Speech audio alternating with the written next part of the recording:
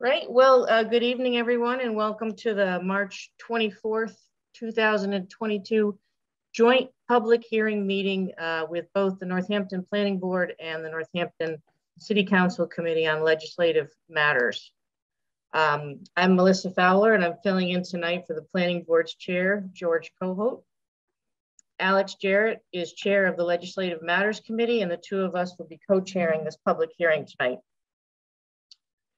As we normally do, we're going to start off the meeting with time for public comment on items other than what's on tonight's agenda.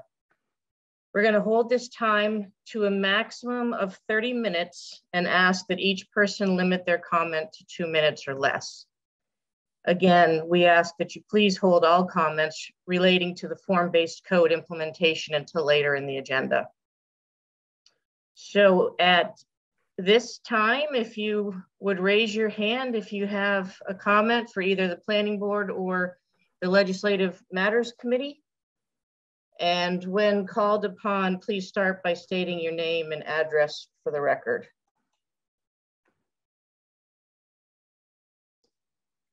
Um, Chair Fowler, uh, should we first call do the roll call and make the announcement about the audio video recording?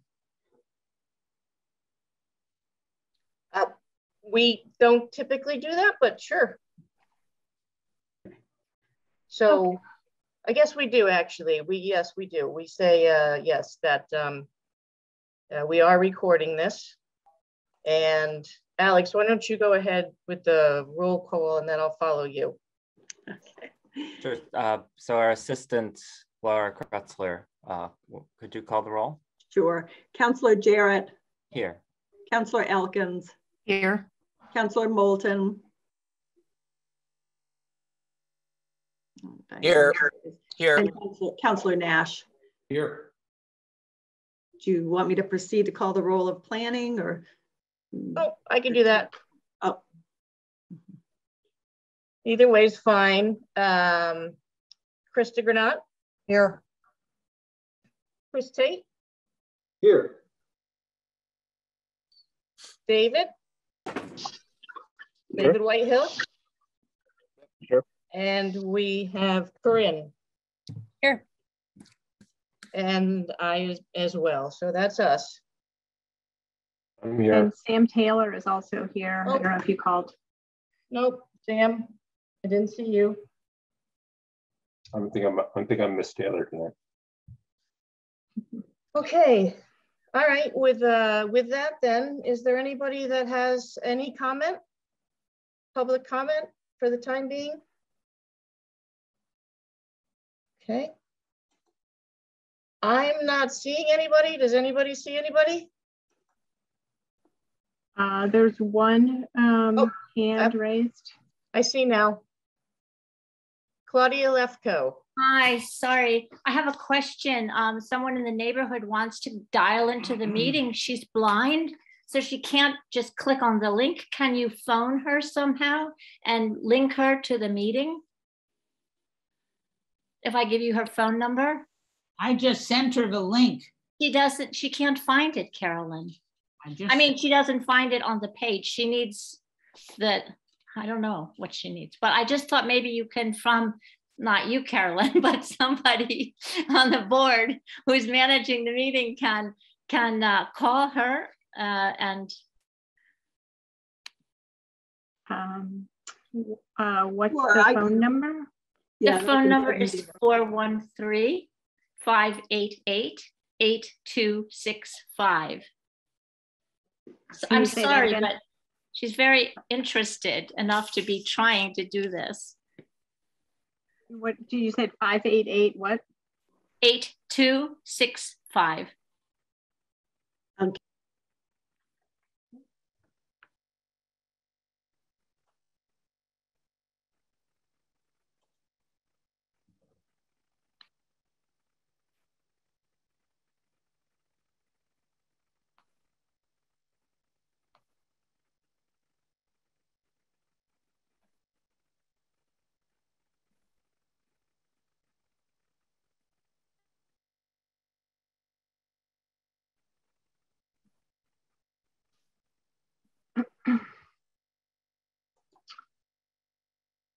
Okay. I'm sorry, uh, was that, uh, the number was not in service? Is it 413-588-8265?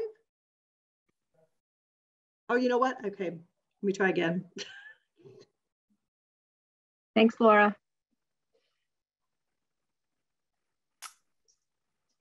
Were there, I don't see any other hands. Uh, I don't, no, I don't see any, so, um, all right, so seeing none, I, I believe at this point, we're going to turn it over to Carolyn Misch I for have- tonight's, for no- tonight's presentation on, Oh, I have a comment. My hand is up. okay. Go ahead, Carolyn Oppenheim. Yes. Okay, um, so I'm new to this process of uh, responding to a, a new owner coming to a meeting, hearing the plans. But what I've learned is that two things. One is I think we need more municipal education about how things work. I think the public really doesn't know. And it's very complex, and we need somebody in the city to translate it simply. But as I'm experiencing it, here's what is frustrating to me. So we find out that somebody has purchased a property in our neighborhood. We get information that there's a meeting to discuss the plan. At that meeting, we discover that the planning board, planning commission, I'm not sure, I think that's this body, has, and the DPW have already mainly approved the plan. Um, and that if we have minor things to raise, but that the substance of this plan, plan has already been approved. And if we want to appeal it, we have to come up with a substantial amount of money to get a lawyer to do that with us. Um, and possibly an environmental engineer as well. It it seems like a very, very heavy burden on citizens to have their first opportunity at input in such an adversarial way where the the buyer has already been having private meetings with city officials who have essentially coached and helped that buyer come up with the plan that's going to be approved. And then the first opportunity that the citizens have to respond to it in order to really intervene there's this enormous financial burden. There's something unbalanced about that something not right or we're missing something and i've heard this over and over so i'm i'm confused frustrated a little bit angry and I don't know if you have any response. First, uh, Ms. Oppenheim, would you state your address, please, for the Oh, I apologize. I live at Three Montview Avenue, Northampton.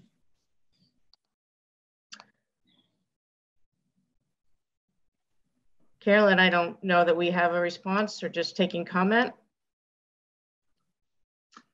Um, yeah, I mean, I think um, certainly um, we'd be happy to talk with anybody about the process. Um, you know, call our office or email and um, describe sort of how um, how the permitting process works. You couldn't do that in a nutshell, very briefly, so that the whole, there are other people in this call who might be feeling what I'm feeling or having experienced it that way. Um, I mean, sure. So the so in a nutshell, you know, applicants who, um, you know, property owners, yourself included, you have a project in mind. You um, want to find out what the what would be allowed, what the parameters are. Um, contact our office. We help um, any and all applicants through the process so that there's an understanding of what's um, required. And um, in terms of the technical review with, with someone such as yourself who might want to do an addition to their property, um, make sure that you get in touch with um, the Department of Public Works and um, maybe um, if you need a Conservation Commission permit that you speak with um, staff in our office who um, uh, work with the Conservation Commission so that you have all the information that you need and make sure you're designing your project that's in compliance with all the regulations. And if it requires a public hearing, then um, those um, procedures are, are on our website. We tell people what those procedures are from a perspective of, um, so that's the process from, you know, if you came in for a project and you wanted to do something. So we do that for everybody. And then in terms of the procedures, state statute sets up the procedures for public hearing and um, the process by which um, interested parties can um, appeal any kind of decisions made by an appointed board. And so that's already defined in statute, and we can certainly um, go over those um, procedures in more detail with anyone who has questions about that. And the fact that you really need a lawyer to appeal it? And that they're saying it's a minimum of 30,000? I don't know what the fees are. I know people do appeal things on their, um, you know, it's it's really up to whoever is interested in appealing. There's specific procedures that need to be followed when you appeal something to court. So, um, but I can't, I, I don't have a response about the fees involved. It's a court you're appealing to? Any decision made by a body, like, um, so in terms of land use decisions, decisions made um, by a planning board, the zoning board, um, conservation commission has a little bit of a different procedure, but um, those bodies, yes, the appeals go and are up one level, they go to the state level, you know, the, the decision is made at the local level. So appeals have to go necessarily go up to the next level. And so that would be court. Yep.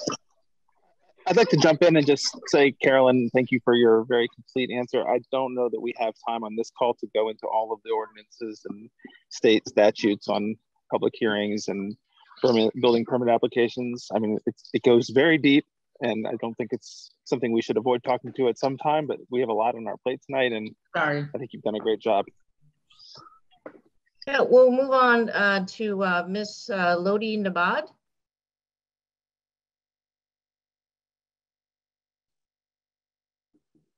Um, yes, hello, my name is Gwen Nabad, and I'm just here, um, this is my first meeting, uh, my first planning meeting and legislative matters hearing or meeting. And, um,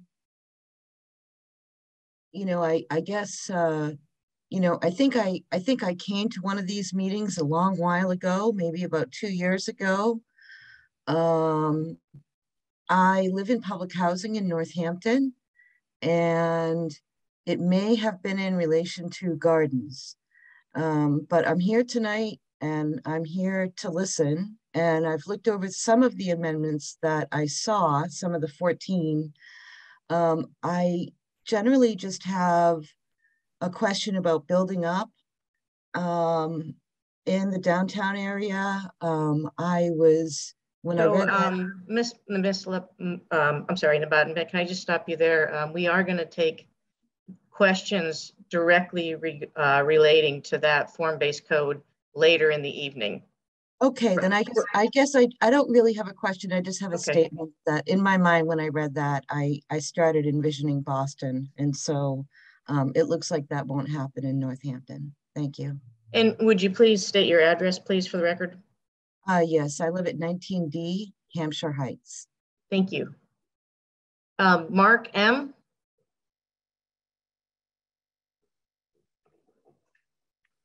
Hi, my name is Mark Mogio. I live at 445 Spring Street in Leeds. I just wanted to reiterate um, what Carolyn Oppenheim had mentioned about the whole process. I think the process needs to be changed because we ran into the same situation that's happening on William Street over on Dewey Court.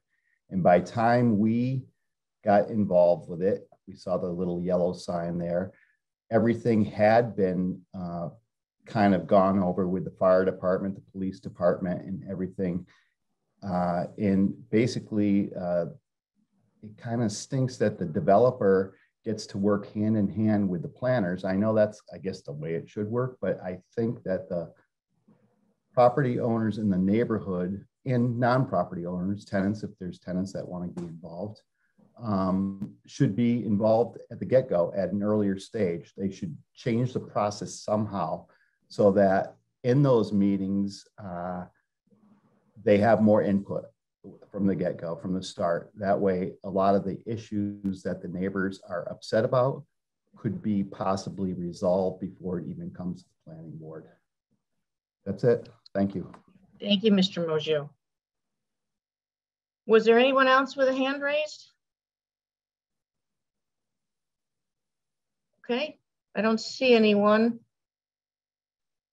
Okay, so at uh, this point, we are going to turn it over to Carolyn Misch. She has a presentation um, regarding a package of Excuse zoning. me, there are hands up. I, I'm not, yeah, I didn't see any. I was asking. Okay, So there's several. I, okay. I guess I don't see them on mine, but yes, so. Okay, I do now. All right, I apologize. Um, so, uh, Sandra Mandel. Uh, you're muted. Yep, Yep. I, I you someone just muted me there. Um, so yeah, I actually I see three other hands. I that do were too up- now. I that do were now up- too. That were actually up before mine, but I'm glad to I'm glad to just say what I was saying, which is that um, I've run into the same issue that Carolyn Oppenheim was describing, which oh Sa- Sandy Mandel, 64 Liberty Street. Thank you. which is that once the um and i spoke i had a long conversation with carolyn misch uh, a while back when i first found out that some um, development that was related to infill was happening in my community. And it was way past the time when you could actually do anything to address the concerns. It, it had already been signed sealed and delivered.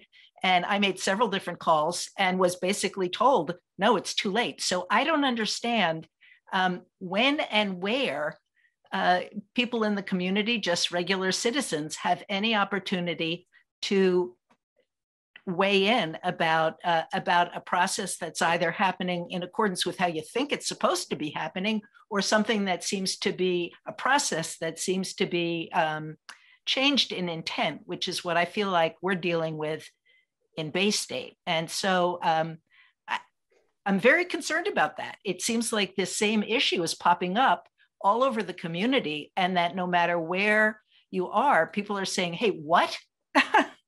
How do what's going on? And when do we get to weigh in?" And um, and I'm not. I don't want to appeal after something someone's done a ton of work. I want to be able to be a part, an integral part of uh, what goes on before someone is issued a permit to go ahead and do the work that they're doing. That the input from the community should be just as significant as the rules, the regulations, uh, especially if we feel like some of the rules are not working the way they were intended to work.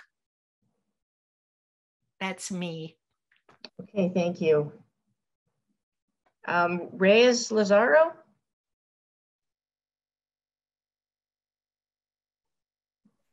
Thank you very much. Reyes Lázaro, 172 Federal Street, Bay State.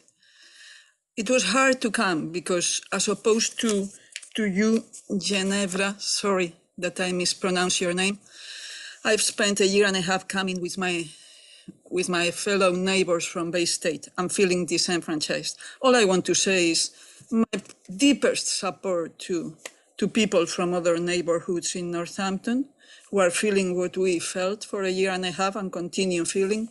And I want to reiterate the, the feeling of disenfranchisement. We have felt disenfranchised, not heard, called old, called, told that the meeting is not about that. In many ways, we have felt disenfranchised. That is very sad because it touches the heart of democracy. It's very serious.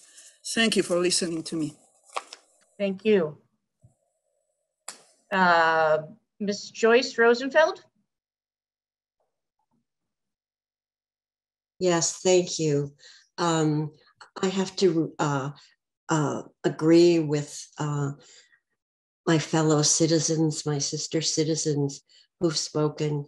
I uh, live at 15 Warner Street in Bay State, and we certainly, as Reyes has said, um, have experienced a great deal of frustration and obfuscation, and uh, the whole process seems murky and um, unfathomable. Uh, and it seems that the original intent of infill um, has uh, metamorphosized into um, development. So, thank you. Thank you. Um, Amy Ben Ezra? Yes. Thank you. Yeah, Amy Ben Ezra, 18 Dewey Court. Um, I want to join in with the comments that have been made thus far. Dewey Court certainly was involved in a long and protracted struggle about a property being developed at the end of our little block here at 34 Dewey Court. Um, we felt similarly that things went way too far in the process before we were in any way able to um, contribute or voice our concerns um, and felt like we were, you know, told, oh no, that's okay, that's okay, that's okay, that's okay, uh, with things that didn't clearly didn't seem okay to us from our reading of special permit rules, etc. Um, and I guess part of my question is when we're talking about infill, are we just talking about whatever a developer wants to put up there? Or can there be more involvement at, of, of neighbors and the community to in, have input before the, pro, the they invest so much money in designing something and that it have more to attention paid to ecological concerns, to safety concerns, to affordability. Because certainly in the project at the end of our block, it was very expensive housing that was being um, developed for rental. Um, and so if, if we're trying to get infill, but we want to be, maybe get infill with people who have don't aren't at the high end of the income range, um, these projects need to be have more input. And I know in some communities where the developers have built some things, the developers right from the start made what I understood to be sincere and genuine efforts to communicate with the neighbors and the community and try and come up with a, pro a product, um, a project that everybody could agree on, although there were compromises involved. Um, and that's it's normal.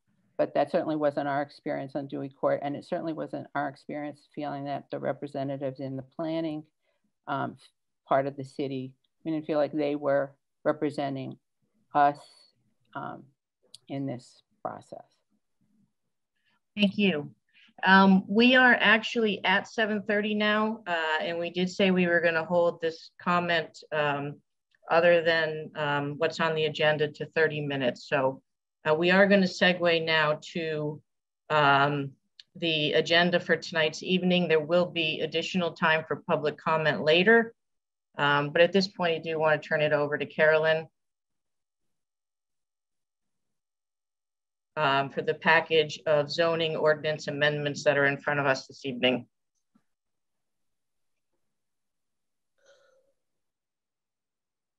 Great.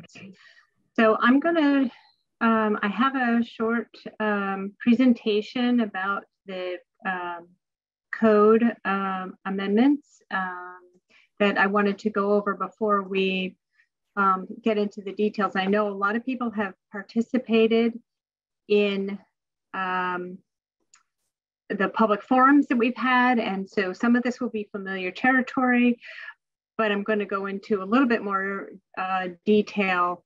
And uh, for those of you who are interested, and also for those of you who are new to this process, um, so that you, um, there's an understanding sort of from everyone uh, about where we are in this.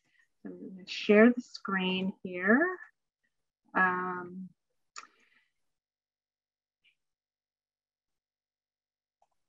so tonight, um, I want to go do an overview, as I mentioned, talk about process a little bit, and then get into some sample potential um, ways that the new or proposed ordinances um, um, might be implemented um, with new investment in both Florence Center as well as downtown Northampton.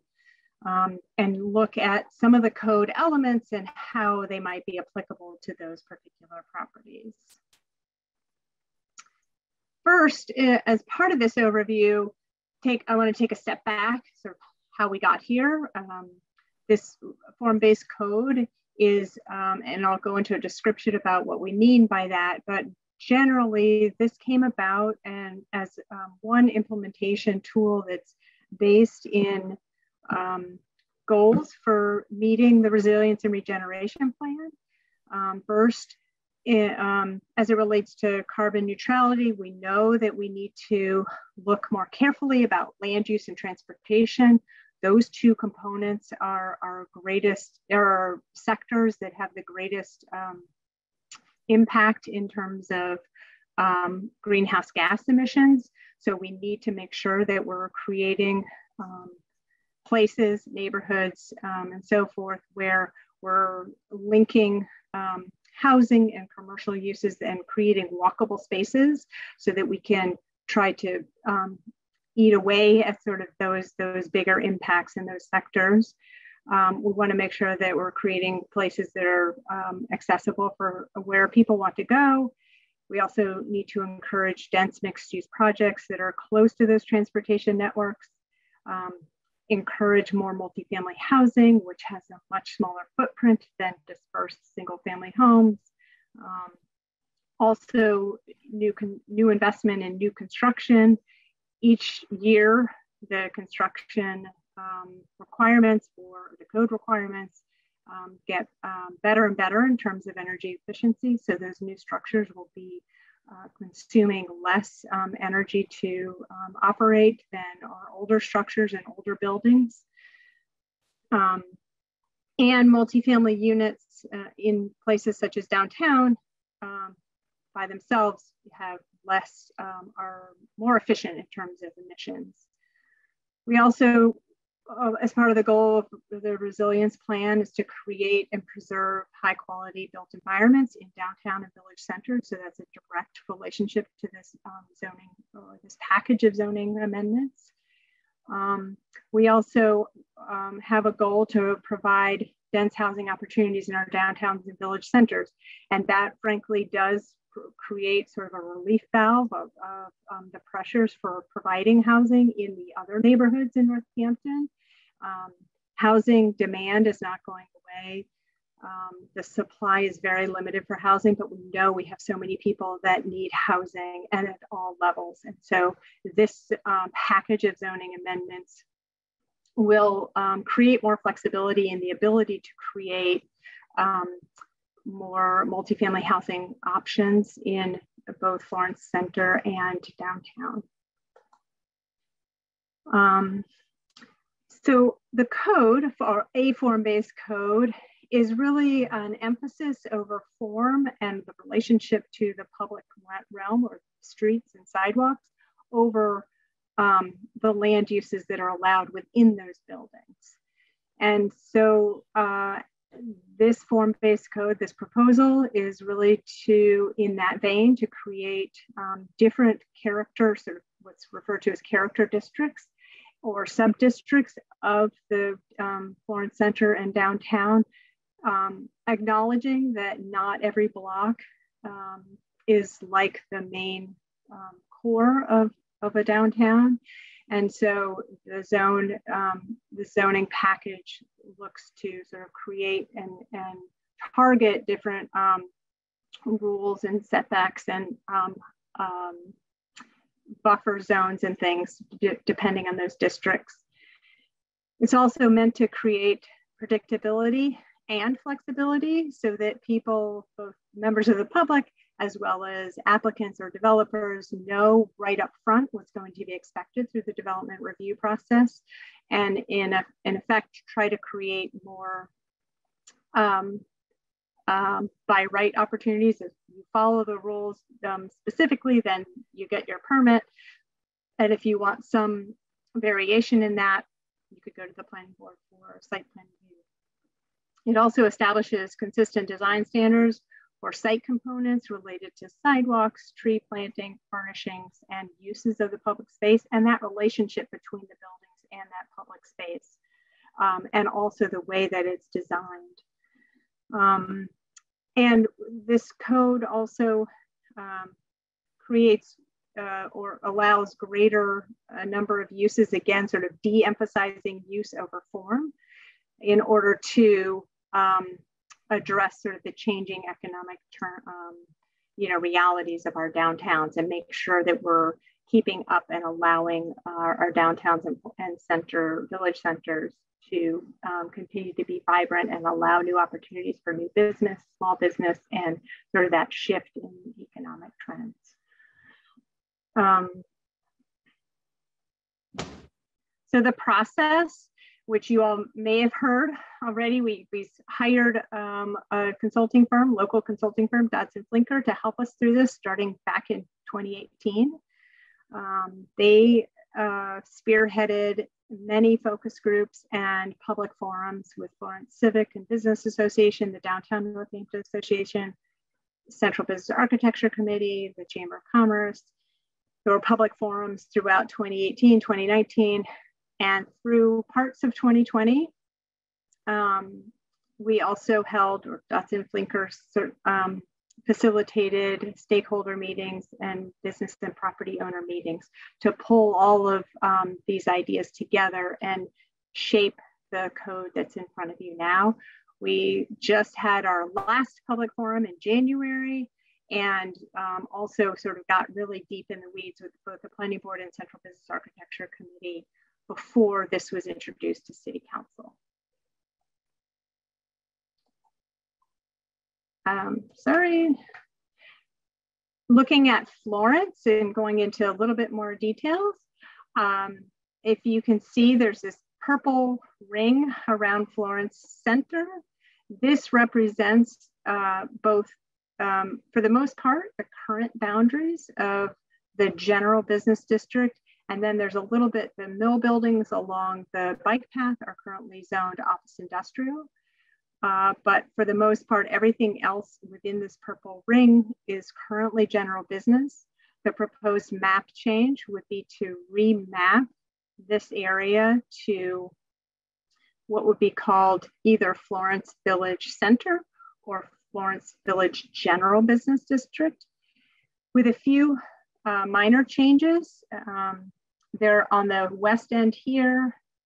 Uh, you've got, I put the aerial underneath this map so you can maybe make out some familiar um, lots or buildings, but the uh, Lilly Library and um, Florence um, Civic Building are in this corner. They are currently in the residential zone. We would pull them into this um, Florence Center Zone as, as, sort of anchors of institutional um, and social anchors to downtown, as well as the formal, uh, formerly used Seventh Adventist Church building, which is right on the edge there. Um, the, as I mentioned, the former mill buildings are currently office industrial, so those would flip to more of a general kind of business zone. Uh, we've also cleaned up some split lot lines, split zone lines around the edges to make sure that um, properties weren't split zoned between residential and commercial. And then this blue boundary here is sort of more of the core where we would um, create or um, basically continue the, the same uses that are in general business, restricting um, the ground floor residential component to the back of buildings or above the second, uh, the first floor. And those are sort of the core nodes of Florence Center. So in the surrounding purple areas beyond that, we would um, change what's currently not allowed for residential use on the ground floor. And that would, uh, residential would be allowed on all floors in the areas outside of this blue ring. So those are the sort that's the key difference between the uh, blue um, bounded areas versus the purple bounded areas. As an example, um, there you might not see any changes on the ground right away, but so this mill building here, as I mentioned, is office industrial. It doesn't allow restaurant use or housing in this building, but bringing it into the zoning would allow um, a mix of any of those types of uses throughout the building. So, right, you, you all may know that the um, artifact cidery is there. That's allowed as sort of a distillery or production space, but they can't really have a full blown restaurant. Um, but the zoning would allow that. Another example of a change of uh, use that um, would help some of these older um, structures in town is this church building could be used for office, residential, or some commercial component. Uh, um, clearly, churches such as these are a little bit hard to reuse, so allowing more flexibility with this new zone would help in that manner. Another potential um, build out scenario, and again, this isn't, uh, or maybe I should say um, up front, there are no plans for any redevelopment in Florence Center, but this is just sort of what um, the procedure might be and where there might be some opportunities for new investment. Um, this space here in the upper left corner is next to Valley Medical. It's a, currently a parking lot. Um, if there were an opportunity in the next 10, 15, 20 years for new development, new housing, new mixed use, something like a three-story building might go there. Um, it would there would be design review by the planning board, essentially based on the parameters that are within this code. And it's a very dense code. If you any of you looked at it, it is it has a lot of graphics and pictures, and that extends it and makes it a very long document. It's about 100 pages. Um, it also includes the maps and so forth. But um, another, and so all of those components come into play when looking at new um, construction. So that one of those components might be, for example, in this graphic here, it shows that there's a ground floor use limitation where uh, the front part of the building is restricted to commercial uses on the lower floor, but in the back it could be parking or residential, and above it could be all, all uses. And then there are other design components that are part of that review. This is another example of where, um, again, you know, this is Florence Savings Bank. Florence Savings Bank doesn't have a plan to develop this property, but if down the road, 50 years down the road, a building were to come in, um, would be desired to be there, you know, one of the components is that buildings need to take up, um, uh, encompass at least 50% of the building frontage so that there's parking to the side and the rear, but the building is really what fronts on the street and it has that interaction with um, the, the public space. This is just sort of another scenario um, looking at that Valley Medical, the kinds of components that are in the plan that the planning board would look at, or the or if it didn't rise to the level of planning board review, the applicant would know exactly what they would need to design or how they would need to design to get to their building permit. So pedestrian oriented design with space between the building and the edge of the sidewalk, minimum heights and, and maximum setbacks, that kind of thing. Um, another example would be a completely residential building on the side streets. So this is just an example of where that a block might fit for a new building with again parking to the side and the rear and then very um, sort of um, facade elements that are identified in the in the code that would um, direct uh, applicants in terms of how to design things. And um, the reason we've heard a lot from folks in um, Florence Center in particular about how there weren't enough um, elements to um, for the planning board to use or tools for the planning board to use in, in design review because it's a general business district. It's the same kind of zoning that's um, uh, applicable to Damon Road Lower Pleasant Street and some areas that are more highway oriented, but not really um, applicable to a place like uh, Florence Village, where you've got so much historic character there to um, from which to pull, and that things should be sort of match in terms of um, bulk and massing and um, character. Moving to downtown, uh, this is a it's a smaller map because it's a much larger geographic area, or I should say it's it's zoomed out farther because it's a much larger it covers a much larger area. Uh, if you can see these outlines, they're all sort of various shades of red. These are all currently commercial um, zoning districts, except for a few um, modifications, which I'll go over in a minute. Um, this uh, lighter pink area is currently all central business district now. And there are already detailed design guidelines that the Central Business Architecture Committee reviews.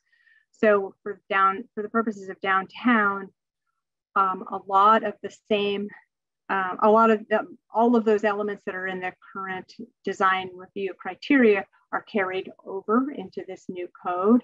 And it's sort of a, a merging of those details of um, building design and orientation to the public realm, but it puts those standards in one, primarily in one document.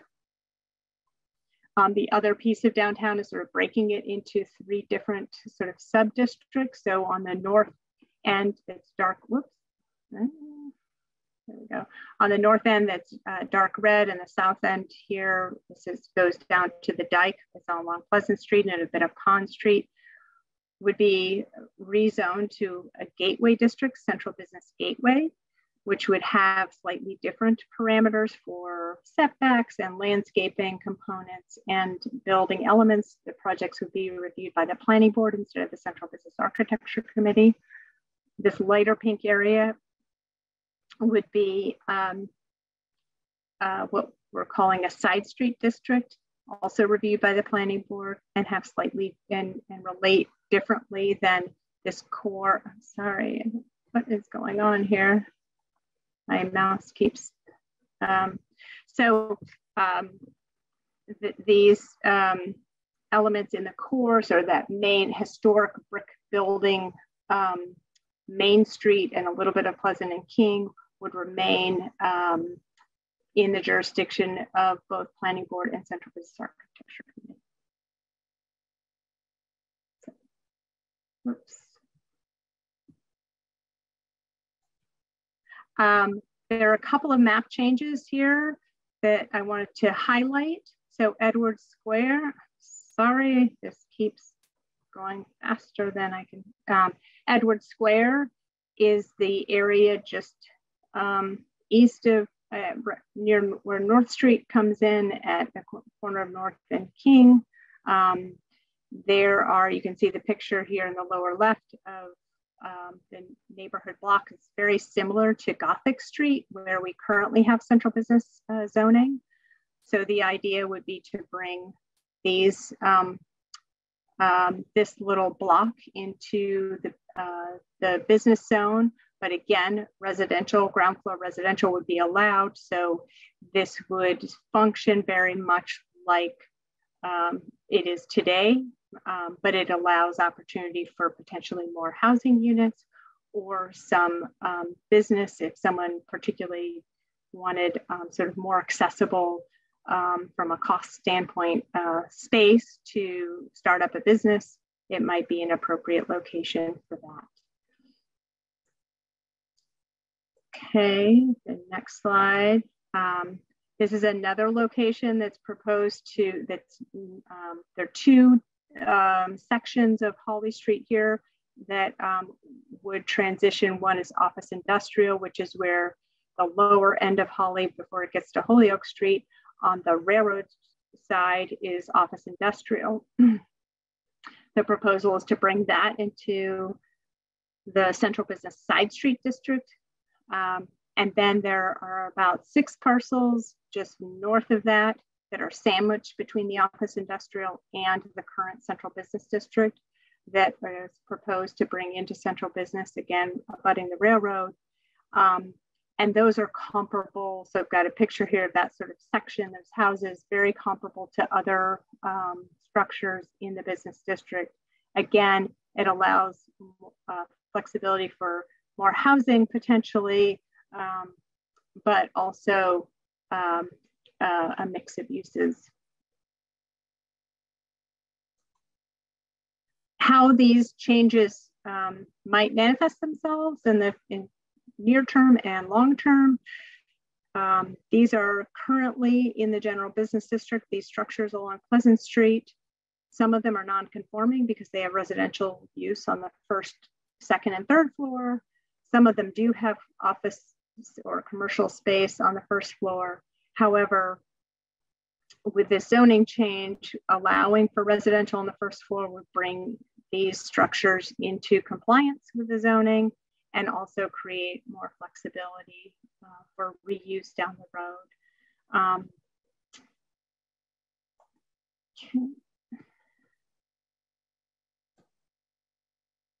Another example of potential build out, uh, this is actually a parcel on just north of Main and King.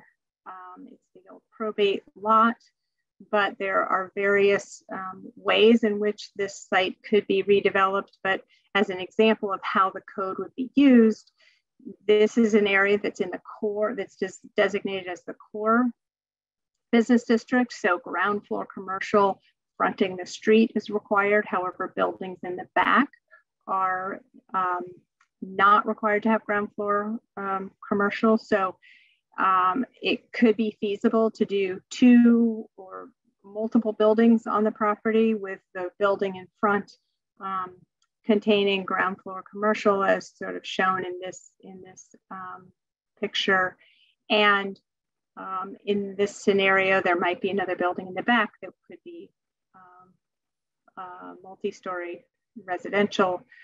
Um, in this case, because it's in the core, 90% of the building frontage um, uh, of the building, um, the lot has to be occupied by a building with parking to the side and the rear. And those percentages change depending on the location of the property, whether it's in the core district, the side district, or the gateway district. But in this case, the Central Business Architecture Committee would look at new construction and evaluate it against the elements in the code that deal with um, the facade treatment, the windows, the patterning of the windows from floor to, um, to roof, um, from ground to roof, and so forth. Another example, this is farther up King Street and what we are referring to as the Gateway District. Um, so uh, several different um, parts of the code would be applicable. This might this would be an area where ground floor residential would be allowed. So multifamily, either multifamily or mixed use would be allowed. It's a large uh, parcel. So there are other components of the plan that come into play, and that relates to how many breaks need to be between buildings or, or how many buildings, and then how what the access is like from the street through the property. Again, um, it would speak to the um, buildings and the total percentage of occupancy along the frontage that would be required, what type of, um, how much landscaping and what kind of treatment is, is um, uh, created or designed between the building and the public way. Also deals with public realm components that would have to be improved if those, um, if the public infrastructure were disrupted in any way and then parking um, on the side and the rear of any new structure. Uh, in terms of other um, changes of use that I wanted to highlight besides the ground floor residential in Florence, uh, the new zoning would allow an expanded uh, number of uses, as I mentioned previously, but those include hotels, nursing homes, assisted living, um, distilleries and the like. At the same time, there are some uses that would be taken out or not allowed where they're allowed by special permit right now under general business, and that includes junk car sales or auto sales would not be allowed in the village center. in terms of downtown, expanded uses include nursing homes, manufacturing, as well as um, breweries and distilleries would sort of be added to the list of allowed uses. There are a couple of edits that I would recommend to the planning board and city council that I noticed in going back through the code, and I'm sure there'll be lots of other um, edits over time as we sort of go through this is such a massive code. It's not just the 100 page document, obviously, but it's the other um, 12 or 13 ordinances that go along with it that um, are more housekeeping items in the package. But the, the ones that I um, picked out ahead of this meeting relate to just sort of leftover um, site plan labels that um, should have been removed for, as it relates to ground floor residential use limits for Central Business Side Street and the Florence Village General. And so we can go into that um, with the board um, as you, you, know you get into a more detailed um, discussion about it. Also, I would suggest that there be um, more clearly stated a planning board review or waiver process if uh, projects in Florence Village General and, and Florence Village Center District um, have structures that are built behind a building that fronts along the street that there could be a little bit more flexibility in um, meeting that minimum height limit. And that is the end of my presentation. I'd be glad to answer any questions. And I'll stop the screen share.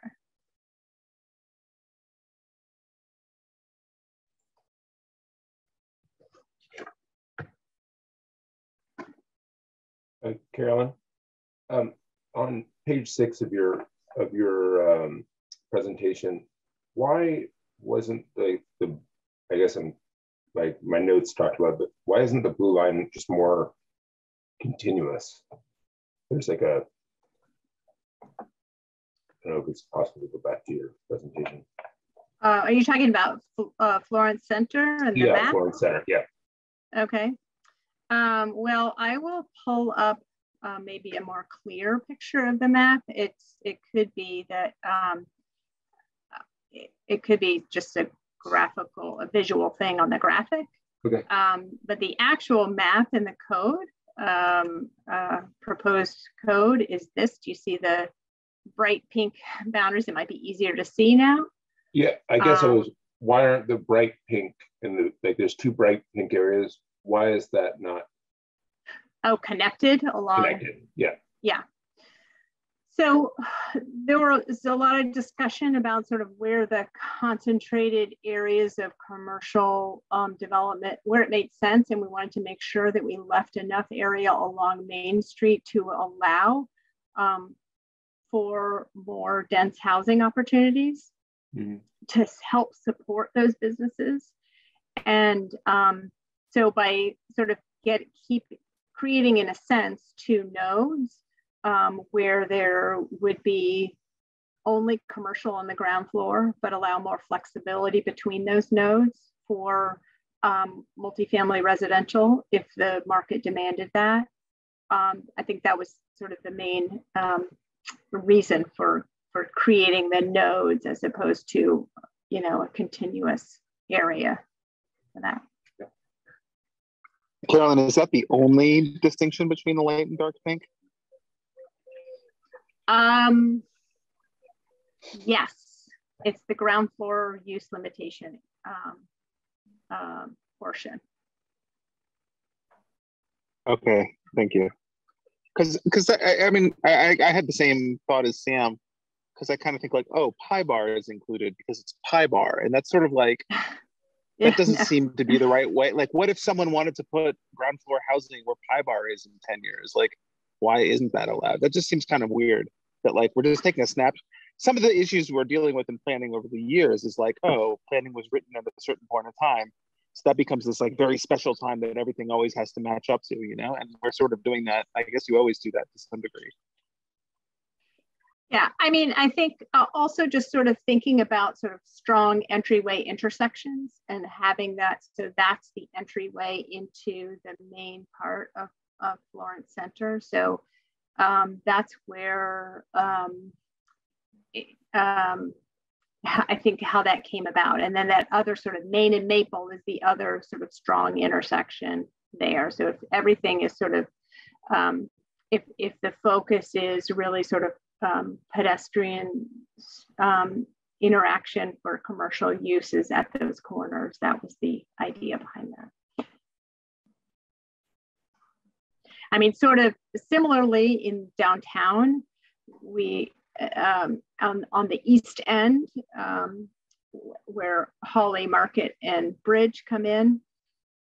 Um, Central Business Architecture Committee had a discussion about making sure that all four of those corners of that intersection were brought into the core um, of the, um, or what we're referring to as Central Business Core. And that again was related to having sort of that strong commercial presence at that, at the, all four corners of that intersection. Yeah, I mean, I guess philosophically, it's sort of like, isn't the whole point of this is not to legislate use as much? I mean, I don't know. So why, why did, why are we doing that? Why can't um, there be um, housing there?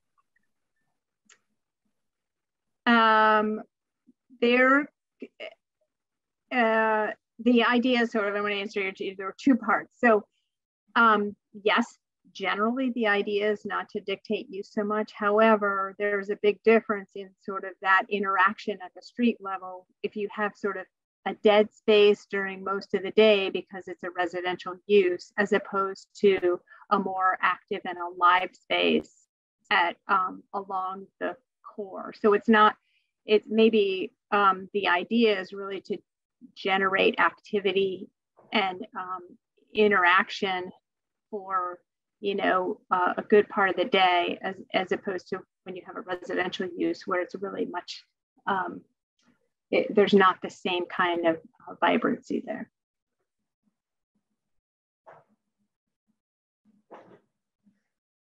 Okay. I'm sorry, uh, one, one more question. Is it, I'm sure it's in the uh, other 100 pages, um, but the, um, one of the and there's I, I understand there's not a lot of development there, but what what what is happening at all between I guess Pie Bar and Cooley Dick? Um, I mean, I think of that as like a slightly of of all the areas that I'd like to see brought, you know, bring to bring sort of the town together. I'd like to see something there. Well, there are a couple of um, issues, I guess. I mean, you've got this sort of village center that yeah. um, need that, um, you know, the shape of retail or the concept of local retail has changed dramatically and has been changing for the last 25 years, right? So the demands are very different now. Um, and so we have a lot of space and opportunities already in the village center. And I think um, um, from the perspective of wanting to maintain that concentrated village center and not sort of bleed out, um, and then you lose the, that those great buildings and spaces because there's just too much um, area allocated for um, those opportunities. That's one piece. Um, we want to continue to support our existing downtowns with um, reinvestment opportunities there. The other piece is creating separation. Village, Florence Village is different from Northampton. Um, and so having that little bit of a break says, okay, we're transitioning to a different place now. The other piece of it is there's the, I mean, there's Smith Voc Fields there there's wetlands, um, there's some constraints there that just don't um, allow for any of that development anyway. Councillor Nash, got your hand up? Yeah, thank you. Um, Carolyn, thank you for the presentation, very helpful. And um, I know that a number of my constituents in this presentation would be interested in, under, as well as myself, is understanding the step down. So you have we have the central core, you know, which I believe, you know, many of the diagrams we're speaking to, as well as the side street. And, you know, if we could get a sense of what going from central core to side street to URC to URB in terms of, of you know, height, size, open space, and parking requirements um, that, you know, because those are the, I think those are the things that people are most concerned about. And that, um, anyway, if, if you could just speak to the, that transition. Sure. Currently, Central Business um, has a 70 foot height allowance. Um, there are no parking requirements for most uses. I think the only uses that require new parking are for theaters and hotels, I think. Um, there are uh, buffer requirements um, for the um, rear of properties to between uh, central business and urban residential C. The proposed change would um, set in the side street. So, so now the, the proposal is to break the um, one single central business district that is all of that area that touches urban residential C into three um, different districts. So the core district would not touch urban residential C. The uh, central business side district um, and the gateway district would continue to abut next to residential, this urban residential C. The height limits would, or allowances would still be what they are now at 70 feet, but after 55 feet, there would be a required step back of the structure so that really what's abutting those um, districts would be a 55 foot height, which is the same as what's allowed in urban residential C now. And then after 55 feet, there would be a step back of the building so that it's not the entire massing that's at the, at the setback line, but it would be um, um, um, the building would have to be sort of projected in inward from that. Um, open space currently, the open space stays the same as central business now.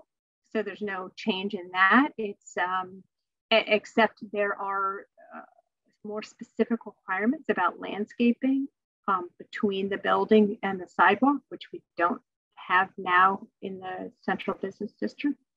Um, I don't know that speaking about the step, you know, the changes between URC and B is part of this conversation because there's nothing there. Um, actually, in Florence, um, Florence um, Village um, districts, they would abut urban residential B, and um, the same, the sort of similar standards that are in general business, and those separations would stay the same. There's still the same. Um, actually, the heights would uh, are comparable, so that really isn't changing much either uh, between um, uh, the new zoning classification and urban residential B. Thank you. And, and what is the what's the open space requirement again for side street and, or gateway? So um, there's not a um, it's it's all in the landscaping, so it's not a percentage um, per se. Um, but I'm just going to pull that up and so talk about that a little bit. There are um, uh, buffer transitional buffer requirements that are about depth and the type of plantings in those. Um, currently, central business has 0% open space requirement. Um, and so that carries over. We're not making anything um, more stringent than what's currently allowed.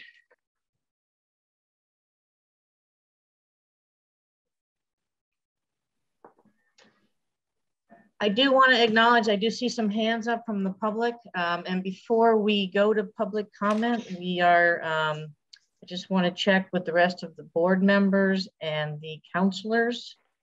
Do do any of you have any questions or comments you'd like to input before we open up for public comment?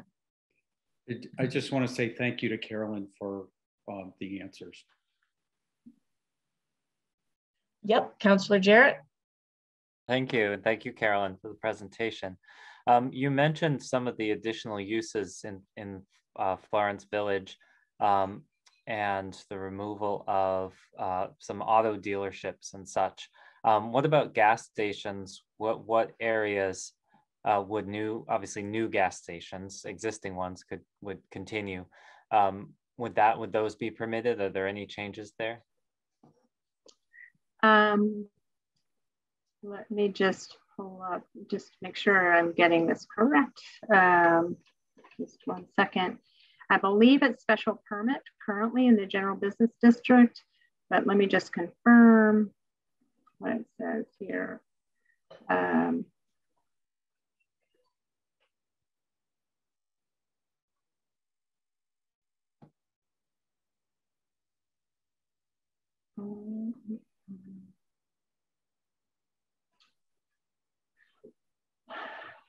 So um, there's auto auto repair. So there's sort of two different categories. There's auto repair um, without gasoline sales, and that would be a special permit. Um, currently, that's site plan um, for, and that's in the core. That's that's for this village, uh, Florence Village Center.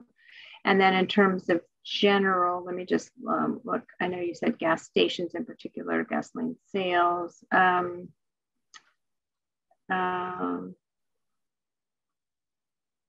I had made notes on all of these of which ones um, stayed the same and different. So I'm just running through that. Um, sorry, take me a second here. Um,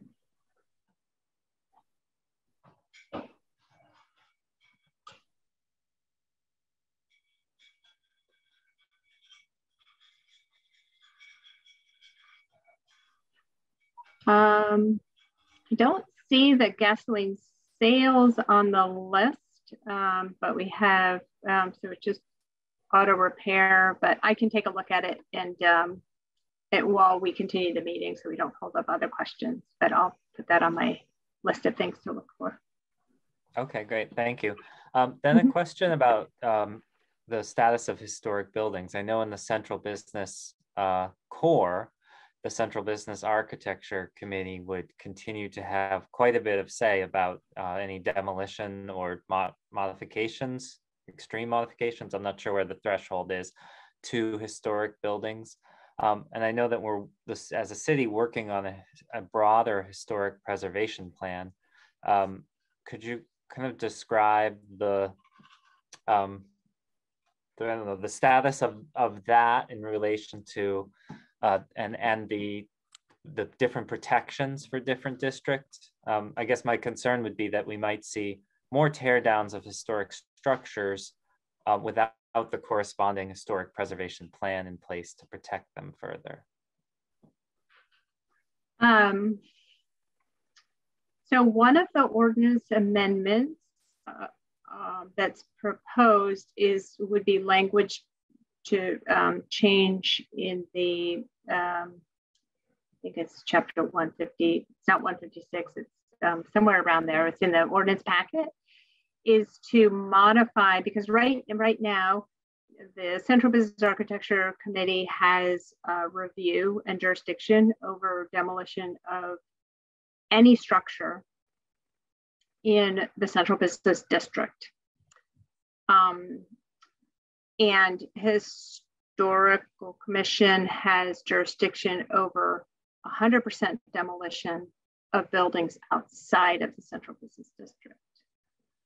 Um, so the um, ordinance amendment um, for um, that would the language change, sorry, to um, uh, chapter 161, which is um, the one related to um, historical just historic um, historical commission's jurisdiction. um, remove, would essentially review 100% demolition um, for anywhere outside the Central Business Architecture Committee district. So it sort of um, shrinks where Central Business Architecture Committee's jurisdiction is to a smaller geographic area. And that the historical commission's jurisdiction is the one-year demolition delay, or did they have any additional powers? Historical Commission um, reviews demolition. They can opt to put a one-year delay on 100% demolition. Um, they don't review partial demolition, if that's what you're asking. Right. Um, and then, yeah, my other question is kind of the status of the historic preservation plan. I don't know if that's maybe outside of the scope of. It's not. It's not directly related, but my, you know, my concern was was about um, what what effects might have this might might happen. Um, so I don't know if you have any information about that stat that plan and what that might bring to us as far as preserving additional historic structures? Um, so I think that we, I think we have a bid out to um, hire a consultant to help us with that, but we haven't, um, we haven't, I don't think the bid bidding's closed yet. So we're still, you know, moving in that direction. But the idea is to identify resource, you know, important resources. So it's not sort of a grab job of sort of trying to figure out as they come up what's important to have a further discussion about, but to sort of create the foundation and understanding of what makes sense in terms of um, um, um, trying to protect those resources. You know, where are those valuable resources? What is it about those neighborhoods or resources that are important? And then sort of set the parameters for how those things get reviewed or don't get reviewed. So yes, it's a completely separate process. Thank you for that. Board member David Whitehill, got your hand up? Yeah, thanks. Um, so like I, I totally agree with what one of the commenters in our first part of this meeting said about how complex the pro- this whole process is. I mean, as someone who works in the industry. I'm constantly amazed at how complicated it is, and I cannot even imagine how it is for the you know the quote unquote civilians. Uh, so to that end, we're creating this whole new way of thinking about how we write zoning here for these areas. So to what degree will this be like a clean swapping out, or are there exceptional moments when it's possible that development teams will have to rely on, will have to comply with this plus big pieces of the old zoning. Like, how much are we simplifying and where are we actually making things more complicated? I don't know if that's a clear question or not. It's clear. um, we're there will still be elements of the old zoning that apply. So the parking requirements or um, um, signage, or um, there are a whole host of other things that are part of the zoning that are applicable across the city. And those still apply. The things that are really sort of pulled, uh, this is really a focus more on form and design and um, public realm standards for these down for our downtown centers and then the table of use. Um, so it's probably I don't know, making up a number, 90% of what someone needs to know to build the project, but there'll still be some elements that are in the um, rest of the zoning code that are applicable.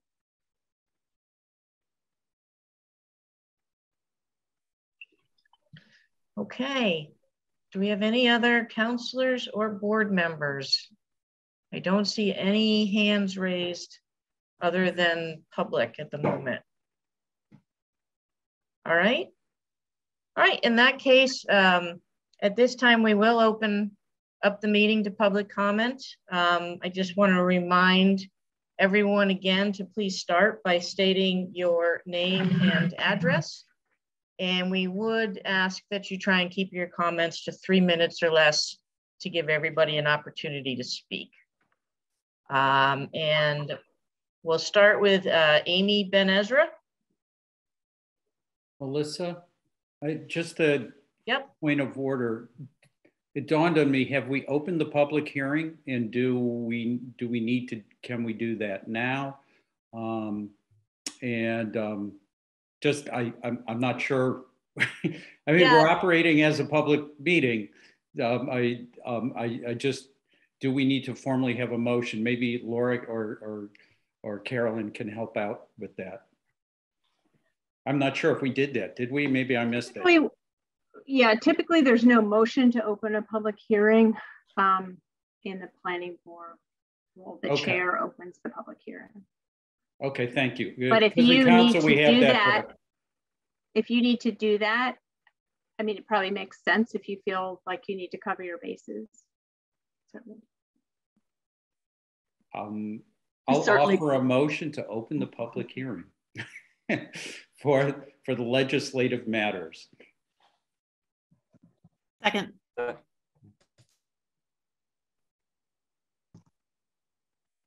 I Uh, we any discussion on that motion? Seeing none, um, Laura, would you call the roll? Counselor Jarrett, Yes. Counselor Elkins, Yes. Counselor Moulton, Yes. and Counselor Nash.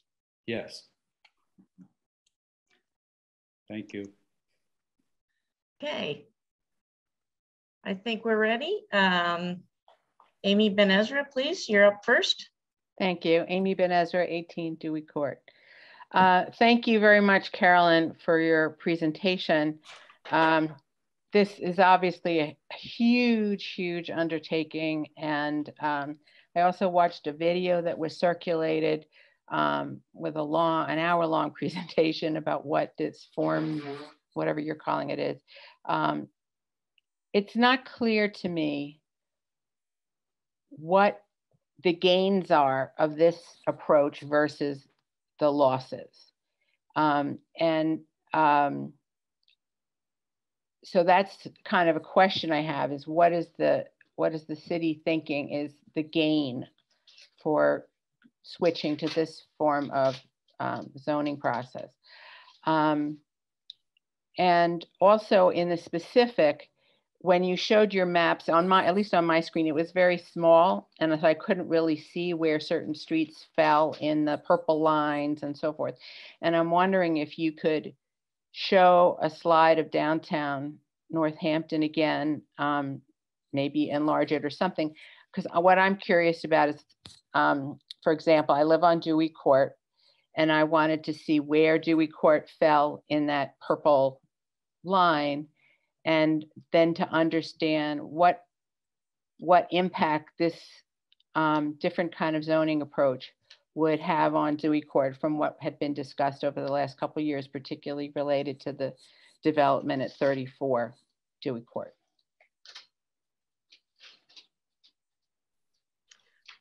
Thank you. I think we're gonna uh, take all your comments, um, sort of group them together, and then um, we'll address or take under advisement after that. So up next, I see Claudia Lefko.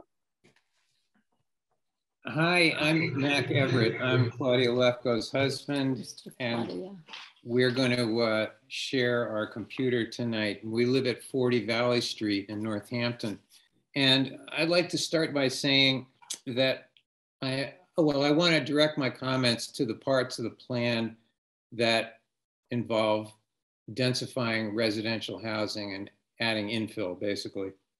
And I want to start by saying clearly, I'm, I'm not against all infill, especially when used to create affordable housing. I think infill can be thoughtfully designed to fit well into existing neighborhoods. And we have two fine examples, Main Street type of examples on Pleasant Street, Lumberyard, and Live 155 that have brought more than 100 new units online. We also have an entire new village on Hospital Hill with lots of green space, incidentally. um, where the hospital had been situated. Um, and it's been a huge addition to our housing stock. But as you all know very well, there have been some um, very controversial and concerning aspects of infill that have uh, come up in the city over the past few years. Um, Alex mentioned one, the, the integrity of historic buildings and the, the controversy around St. John Cantius and the possible demolition and replacement of it with very high-end luxury condos. Um, we've seen the concern in Bay State around um, functional small houses on reasonable sized lots being demolished and replaced with $750,000 or more houses. Um, so uh, that's been a big concern. And in my neighborhood, lately we've been dealing with the proposed development at 107 William Street, where a small house on a quarter acre lot is going to be, has all the permits in place to be torn down and replaced by eight condominiums, eight half-size condominiums, essentially covering the lot with either building or driveway. Um, you know, and and that's a big concern here. This this type of project means the loss of space for kids to play, loss of shade trees, wildlife and pollinator habitat. And in a time when we want to bolster local food production, why would we want to encourage paving over of garden spaces? We think about the role of victory gardens in the winning of World War II. Gardens are also a natural tool in our fight against climate change not to mention the profound and well-documented mental and physical benefits of working the soil. In the case of our neighborhood, the soil happens to be floodplain soil that's reputed to be some of the best in the world. And unlike on Pleasant Street or Hospital Hill, side street projects like the kind we have down here and would be on the edges of the downtown area of, um, of Florence the projects here are surrounded by an already stressed and decaying infrastructure that looks unlikely to be built soon, unlike more Main Street projects. So, you know, again, many concerned neighbors of mine see and accept the need for more housing and are not against thoughtful infill. But we think in, a, in an area like ours that has one, two, and three family units, those are the kinds of infill infill projects that make sense, accessory apartments and those. When we see eight units crammed, shoehorned into a space where there was one unit previously, that to us is overfill. It's not infill, it's overfill. It's too much. And uh, before I go, there's one other point I want to make, and that is we talk a lot about densifying our downtown for reasons of enhancing, you know, transportation and access to uh, shopping and so forth. Let's think for a minute about what happened during the pandemic when people, many people started working remotely. Many people started shopping online. I mean, you can do those things anywhere you have Wi-Fi. You don't have to be there the center of a downtown area to do those things. And I'm just wondering if people have thought about in the long run, as those trends appear to be continuing, what kind of uh, impact that will have on our need to keep centralizing people when people can be on the periphery.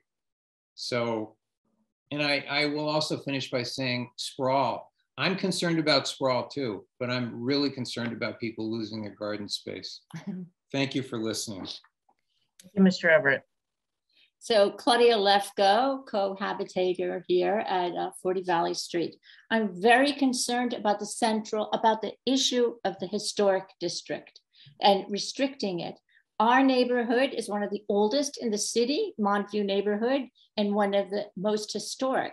What is historic? Like I wanna propose a Howard Zinn vision of history here. It doesn't have to be a building that's by a significant architect or even a significant structure.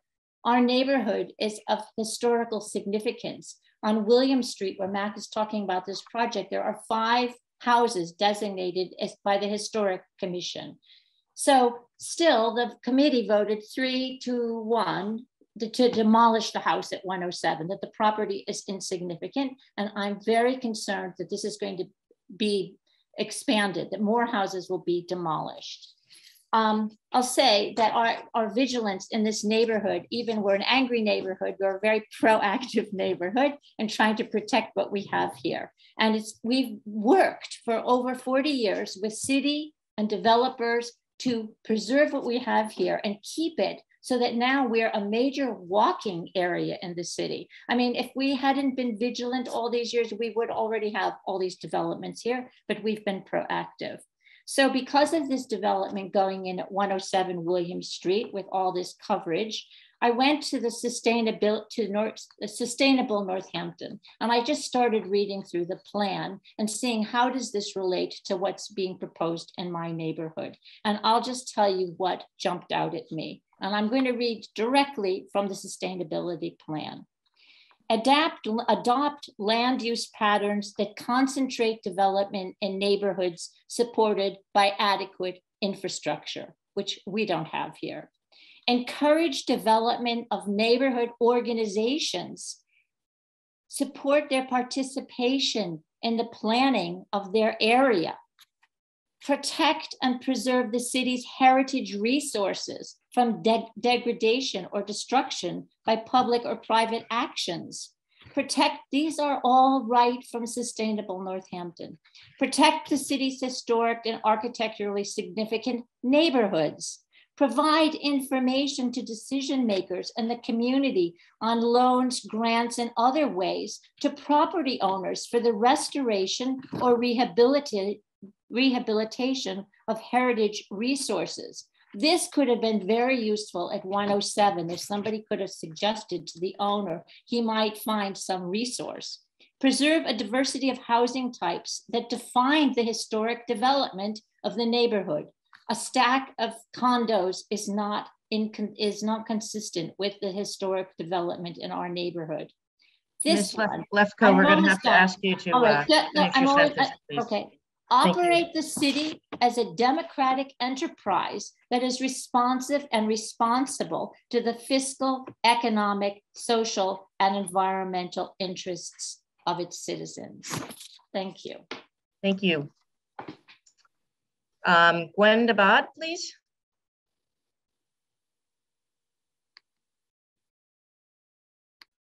Um, yes, I just had a few thoughts um, as I was kind of looking through the the planning and stuff. And, you know, first of all, I just want to say that what she just read off is so important that there is that democratic process. And I live in public housing and um, you know, it's it's it's um, it's not in these areas, I don't think.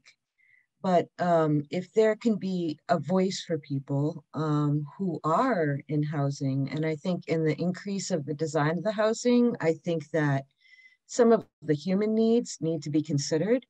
Um, I think that um, earlier I heard that going, you know, anything underground or anything that's below the level of the surface of the of the land um, would not be con considered a floor. However, maybe it would be more energy efficient to consider that possibility of of building a little lower into the ground in areas that could be okay for that.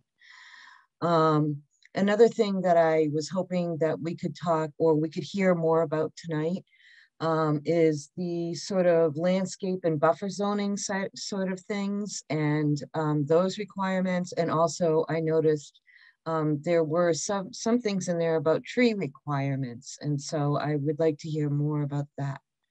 And I will also, um, you know, I think that the previous couple said exactly my sentiments. Exactly. Thanks. Thank you. Um, Joyce Rosenfeld. Yes. Um, I, I don't know if this is uh, uh, appropriate to, to bring up right now, but when I heard um, you, Alex, uh, Jarrett, ask about gas stations, are we building more gas stations? um, in in our area don't we have enough gas stations that's my question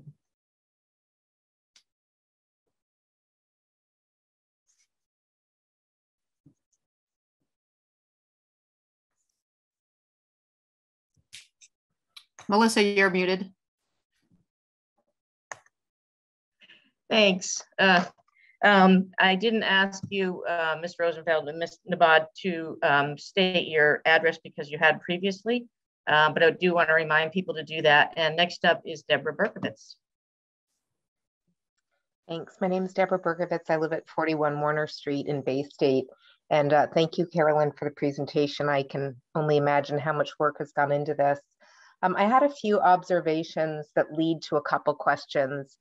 And um, I'm wondering kind of how much we look back historically and try to learn lessons from it and then think about um, I think, as uh, maybe David said earlier, it's very difficult once um, regulations are put in place to make change. And it seems like one of the things that those of us have been distressed with what happened with infill, the infill zoning, was that there wasn't um, that that there wasn't um, a, a, mechanism to be able to look and see whether or not it was accomplishing the goals that had been stated or that residents felt like they were signing on to when they um, you know came out in favor of it and so I heard about healthy mix of uh, commercial and residential um, and mixed use in the presentation. And I think Hospital Hill is, which somebody else mentioned, I would say is was an egregious uh, example of where we were told repeatedly that there was going to be mixed use, mixed, mixed commercial use, small retail, and that didn't happen. And so when I look at this presentation, I think about first floor residential. I think in five or 10 or 15 years, we're going to have very few in-person businesses left to walk by because there's so much money to be made in that first floor residential. Um, and so, you know, if if part of the goal is to have mixed use and a healthy economy, is there um, are there checks and balances to be able to see what happens over time and revisit the zoning?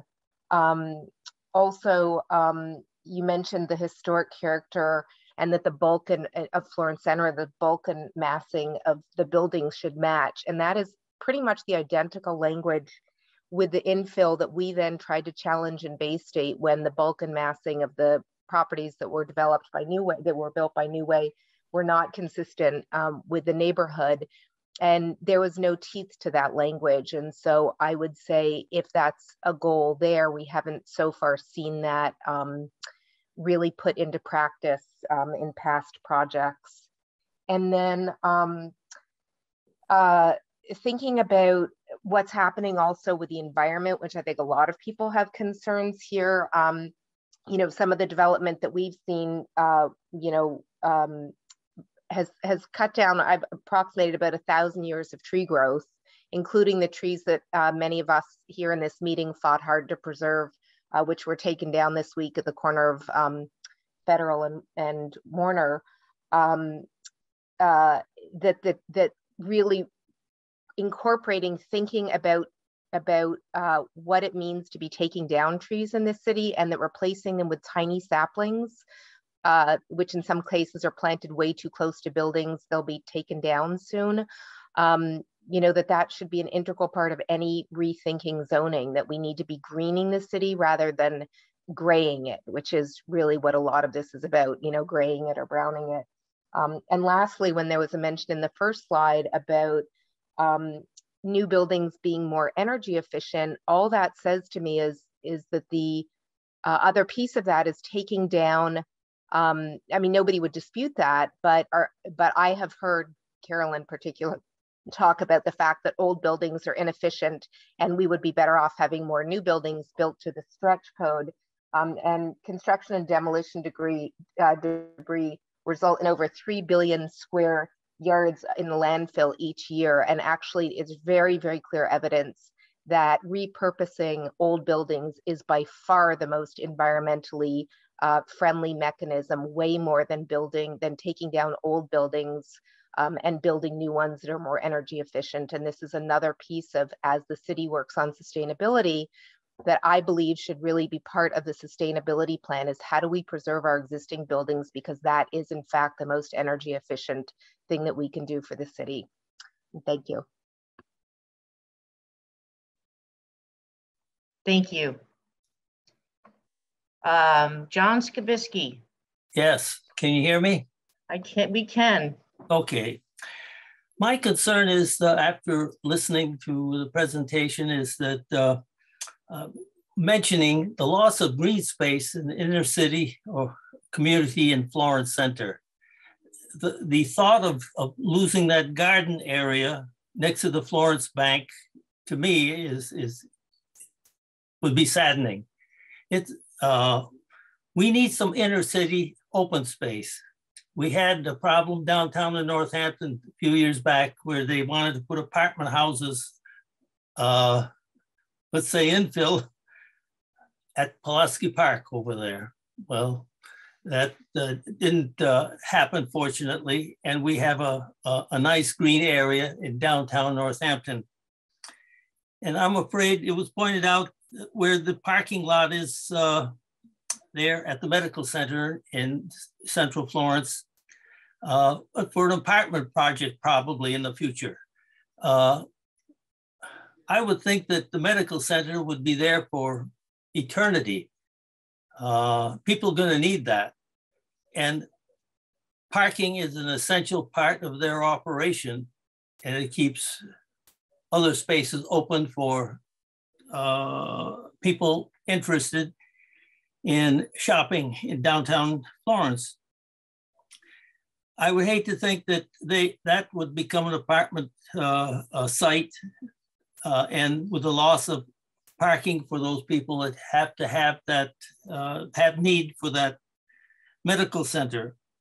Uh, downtown open space gives the appearance of calmness and, and beauty, even if it's a small area.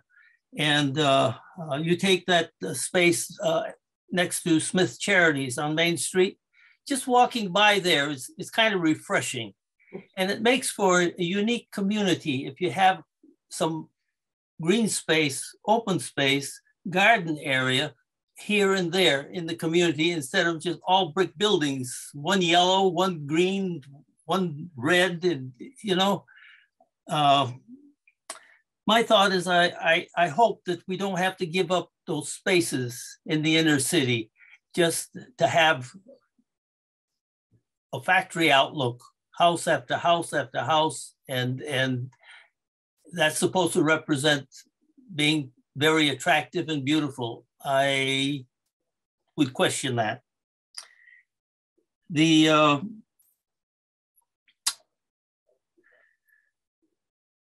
I would say that uh, if we have to have more activity in a downtown area, that we should really be thinking about taller buildings instead of four stories, six stories. And your infill would go up instead of out. That would be my thought of perhaps solving that problem, but I mainly would not like to see the loss of the green space wherever it is presently and and uh, uh, to look at the Florence Civic Center. It's got a spacious lawn over there in, a parking lot. That's beautiful. And it should stay that way. We shouldn't cram it with buildings over there. This adds to the community. And my suggestion is that be careful about too much infill and the loss of green space, green area, garden area that would keep the communities attractive. Thank you, Mr. Skibisky. We are going to have to ask you to. And would you uh, state your address, please, for the record? Pardon? Oh, my address is 50 Hastings Heights, Florence, Mass. Thank you. Okay, I'm looking for hands.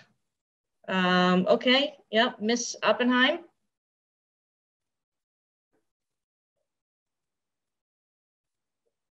You're muted. Carolyn, you're oh, muted. Oh, yeah, yeah, I see. Okay. So a question and a comment. The question is, I got confused. I don't know where that space is, if you've referred to that space that's next to the Lilly Library where the farmer's market is in the summer. Is that a space you've referred to?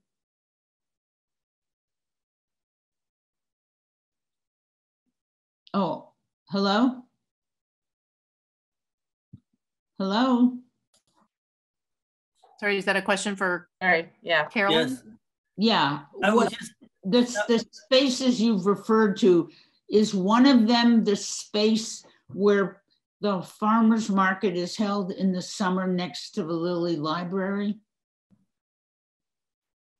Are you asking the previous, um, Well, I'm asking, uh, maybe I'm asking Carolyn Misch. Um, do you want a response now? Um, this is a question to the planning board and. to Yeah. the It's just legislative a yes matters, or no Do you question. want, um, I'll- do you want to we'll- wait till the end? yeah, we'll wait to the end. Oh, Yep. okay. I just wondered if that, I, if that's one of the spaces that's referred to that could be built on or not. And the other, the comment I wanted to make was, it seems kind of odd to make an emphasis on drive-through parking for the bank when the whole emphasis in these districts is it's walkable and it brings people in to walk and then there's this sort of protection for the bank to have drive-through parking. I thought that was kind of odd. That's all. Thank you. Uh, yep, I believe uh, Sandy Mandel, yep.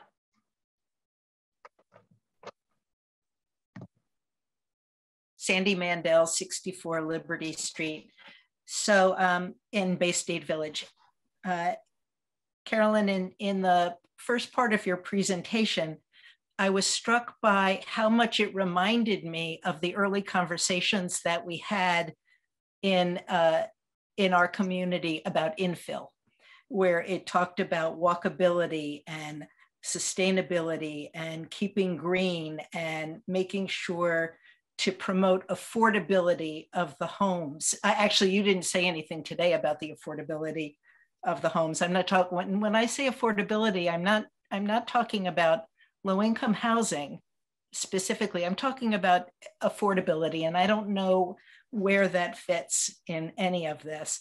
But I was really I just found myself wondering about that because of the development that has happened in Bay State over the last two years the, as as Deborah was talking about, the number of fully mature trees that have come down has been astounding. It just feels like a travesty, and it feels like where is the where is the accountability?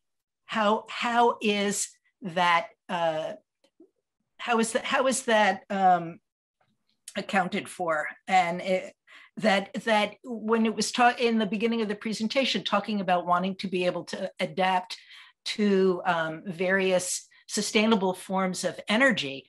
But we know that some of the houses that went up recently on in Bay State were were positioned so that they will never be able to use solar. And i was just struck by again where is the accountability between the, the goals that we state that we want the overarching goals and then the various it, it seems like there's a terrible breakdown and that when there was this type of breakdown that there was no way to to stop it or to ask anybody how, how do we change this? How do we address this?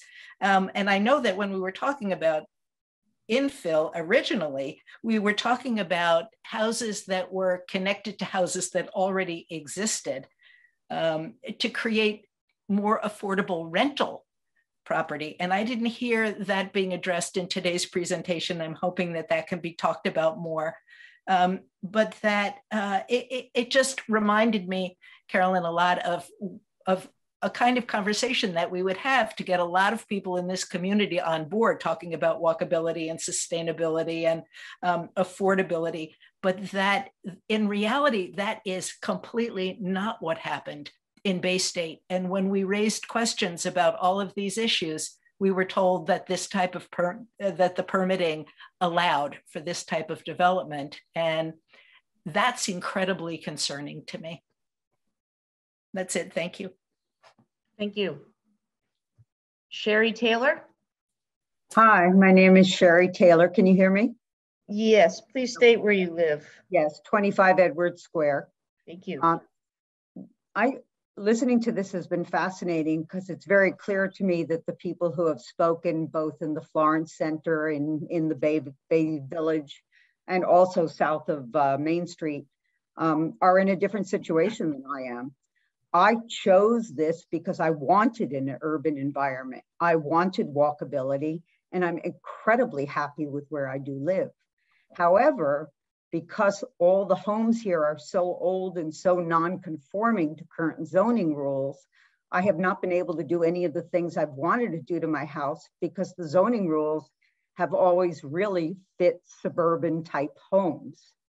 And this change is something I really welcome. I mean, it's time to be able to put a garage in or a small apartment that uh, can be used for renters at a uh, relatively moderate means. And I'm saying this because I'm in support of this entirely. Thank you. Um, we do have a couple of um, questions to address, I believe. I don't see any more hands up at the moment. Okay. Um, so Carolyn, maybe you'll help me through some of these. Um, I know there was one question asking for a little bit more um, depth and information on landscaping and buffer zones and trees and the differences of uh, in the different areas of those. And then also the, the question that just came up about the open spaces, particularly in Florence, um, particularly the farmer's market area, would that be affected at all by these zoning changes? Sure. I made some notes of other things as well, but um, I could start with that. Um, uh, first, let me say that the existing, and this covers some of the um, other comments, the existing zoning in, in either downtown or Florence Center um, allows for development, um, allows for, um, you know, building with 5% open space with building to 55 to 70 feet. So for example, um, uh, the examples I showed as, you know, potential locations for new buildings aren't about um, a plan by Florence Bank or anybody to take away that green space tomorrow with the zoning. But I will say the current zoning would allow that.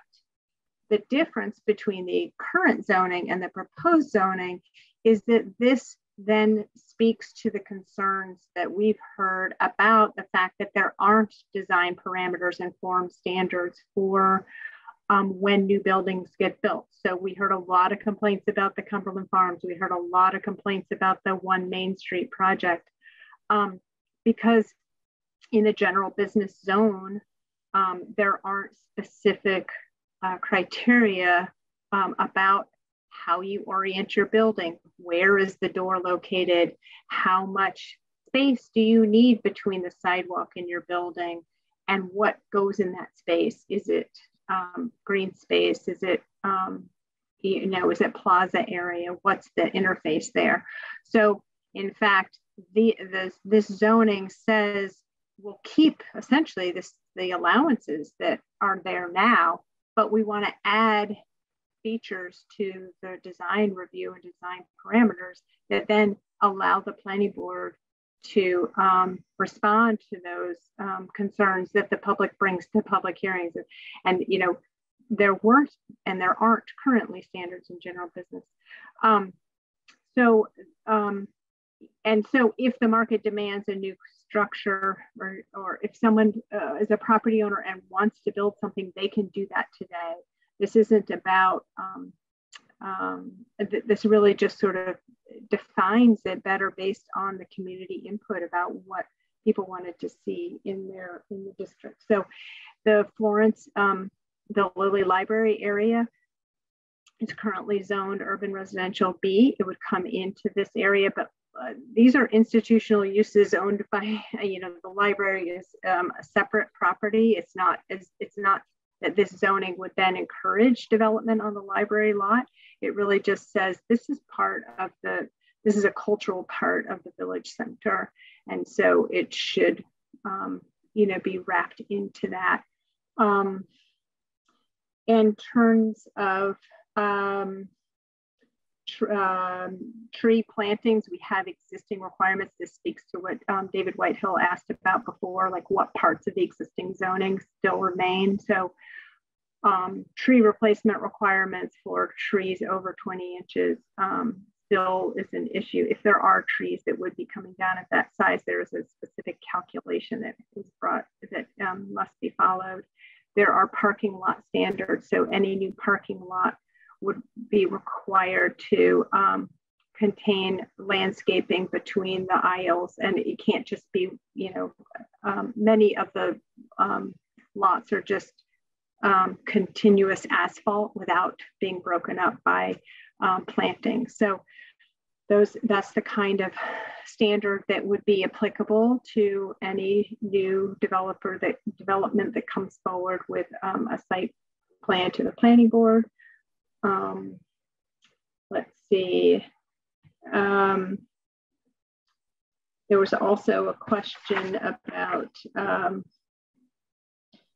there were a couple of comments made about, um, I guess, the gains versus the losses are sort of the same thing that sort of, I want to go back. I think my answer about the fact that the current zoning allows development. And so this zoning just carries that forward, but with more specific um, criteria. So it's not necessarily that um, that there are um, trade-offs per se, but it's just um, better defining and also creating these sub-districts that maybe speak to the character of, let's say, Conz Street is different from Main Street. So we shouldn't be treating Conz Street with the same design criteria or setbacks or build two lines that we have on Main Street.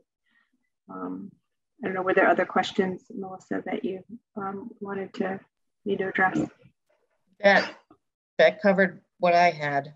I, I had asked about Dewey Court and where it fell on that map. If you could pull up the map and show me where it falls in that.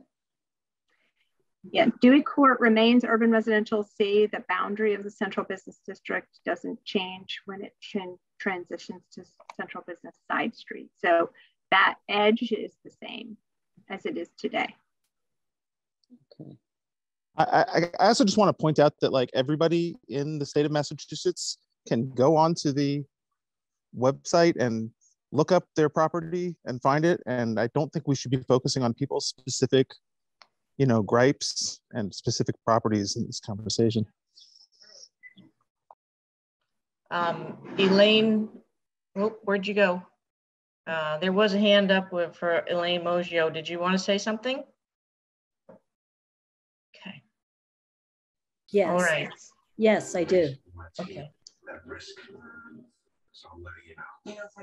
Go ahead. I, I'm Elaine Jandu from 42 Hubbard Avenue, and I live in Ward 3. And I just wanted to bring up the fact, going back to Carolyn Oppenheim, about how we as Northampton citizens aren't aware of things happening they just happen. It's like the city planning board works with the developers before the city citizens of Northampton. It, it seems like everything works before it comes forth to the citizens of Northampton. And a perfect example of that is St. John Cantius. I am the one that started the petition to stop the demolition.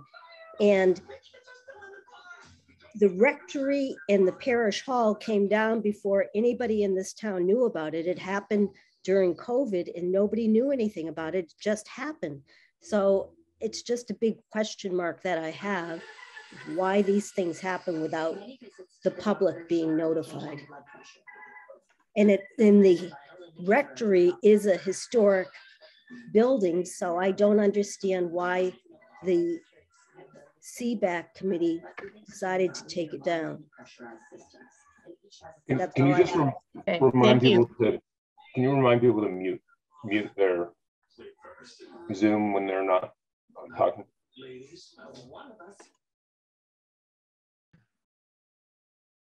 Okay, so how this works is when the public is is finished with comment, then we close the public hearing and then we talk amongst the, the planning board and the legislative committee.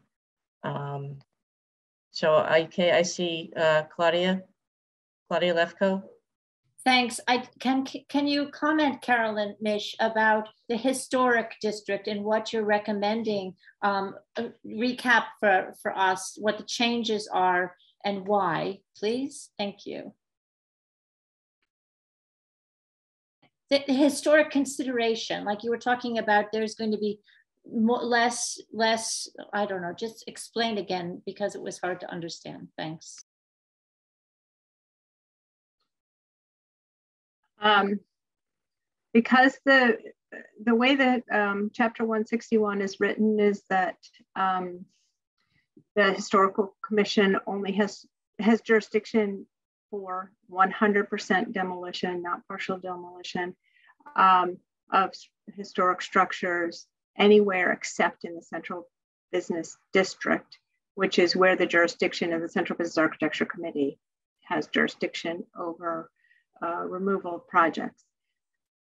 Since the um, Central Business Architecture Committee um, review geography is changing, going to be smaller, um, then the um, that means that their jurisdiction would also shrink and that historical commission would um, have review of 100% demolition for areas still outside of the jurisdiction of the Central Business Architecture.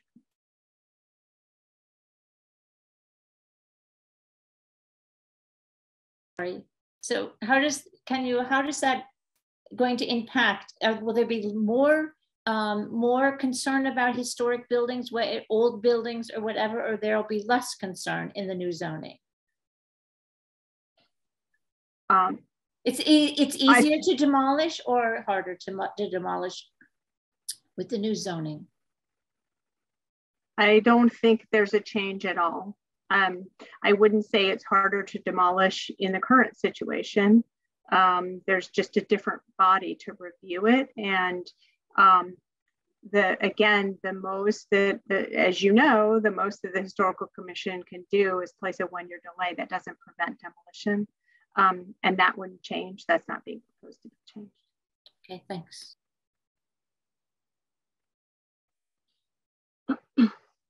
Um, I also just want to, I think there may be some misunderstanding, but this, the zoning is about the commercial cores. It's about sort of making sure that we're staying up with the trends um, you know, yes, people are, I mean, the very, uh, our concern as a, as a city and a community is to make sure that our downtowns remain vibrant as the core, as the center. And so we know that um, retail is not a strong force um, as it was before. So we need to be flexible to address those and allow flexibility in uses and create other opportunities for um, encouraging people to come downtown. And so that's the big focus of this, as opposed to um, just um, continuing to require. I know there was a question about um, um, mixed use and there'd be a transition to residential. The city doesn't control um, the private property, so but we want to allow flexibility in the types of uses so we can um, um, change over time as the market conditions change.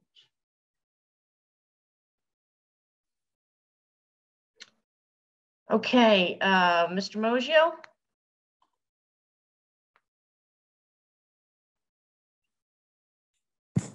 Hi there. Um, just a, a, quick question about, you may have mentioned it already, but the field, when you come into Florence, and somebody had mentioned the Smith Voc fields that are beautiful on the left-hand side as you're coming in towards Florence. The state building that's on the right-hand side there, I don't know if that was mentioned or if that's even part of the Florence project at all. Um, uh, in what's going on with that uh, and how would that be zoned or what is it zoned now or whatever. I'd like some sort of clarification on that. And also another comment that I just have is I noticed that a lot of the boards and whatnot are getting diminished uh, in, in the city or you're streamlining processes so that it doesn't waste uh, developers' times. This happened with um, during our um, our Dewey Court thing, I don't want to be specific to that, but it's happening all over that uh, people uh, um, don't have to go before certain boards anymore so that they, uh, people meaning developers, so that they can streamline and get their projects put through faster. Uh, it just seems as though I think our planners in this city should be working for the residents as well as the developers. And I don't feel as though a lot of the residents are being heard enough.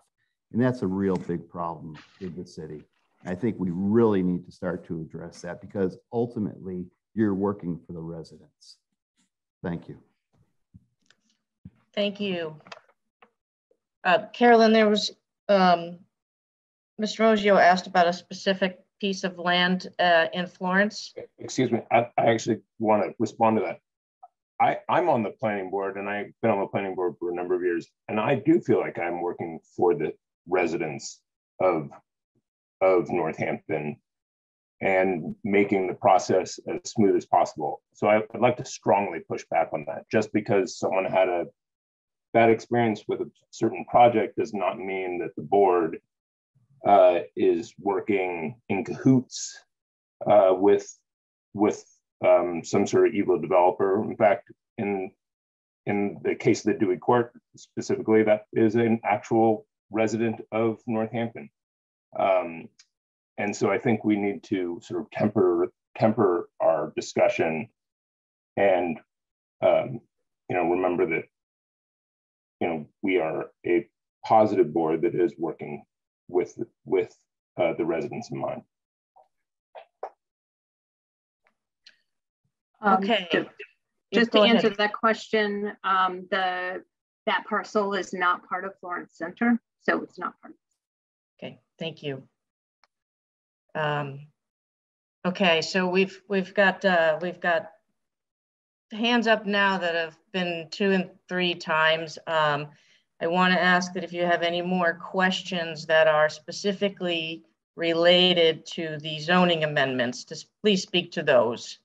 Uh, we did have open comment earlier tonight that was for items not related to uh, these this package of zoning amendments in front of us. Um, so having said that, um, is there anybody wanting to make a motion to close the public hearing?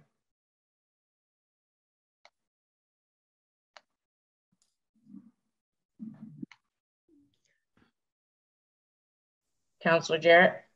Uh, could we do that separately where the planning board, if the planning board would close theirs and then legislative matters can uh, debate about whether to close ours?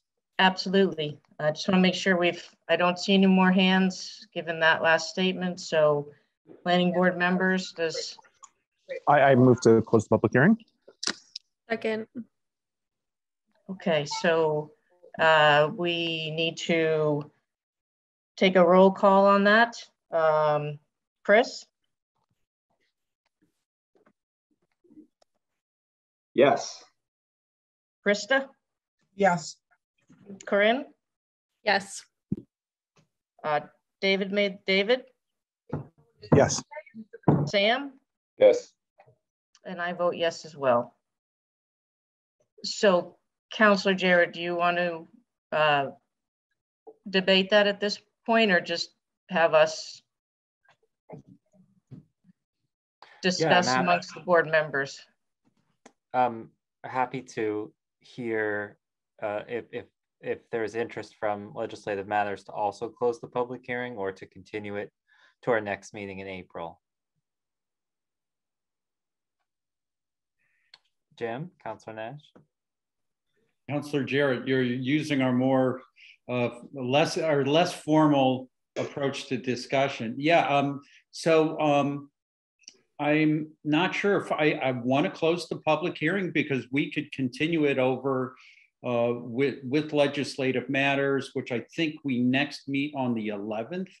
And um, that, uh, but we also, in, in terms of legislative matters, we invite lots of public comment as well. So I, I'm going to make a motion that we close the public hearing with the idea that we're also not stopping any further public input on this as well. And um, so I'm making a motion to close the public hearing for legislative matters. Is there a second? I second. Um, so I would say, is there that that would that comment have to be in our general public comment at the beginning of the meeting? Or could we also, even though we've closed the public hearing, can we have uh, any sort of back and forth with the with the public? Because my understanding was that that wouldn't be the case uh, if if we close the public hearing for this item. I think that you you would have to, if you want to continue to have public comment on this item, you would want to keep your hearing open and not close it. Okay. Jim, what's your thoughts? Well, uh, ben.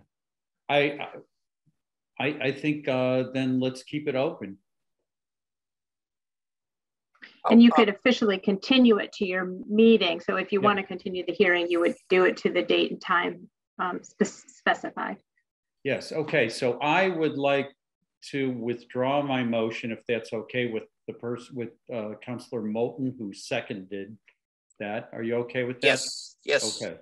And that uh, I would like to make a motion to continue the legislative matters portion of the public hearing to the 11th I'm looking at my calendar. It is at 5.30. I second that motion. Any discussion on that motion? Stan?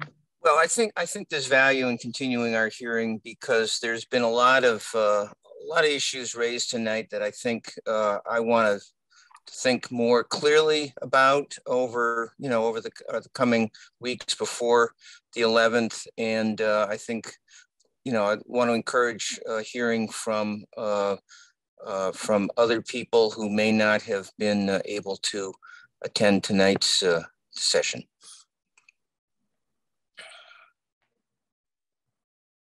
any other discussion jim I think this is a good idea. it's more public discussion, and um, and this is a this is a nice option. So uh, thank you for clarifying that, Carolyn. Um, so we didn't shut things down.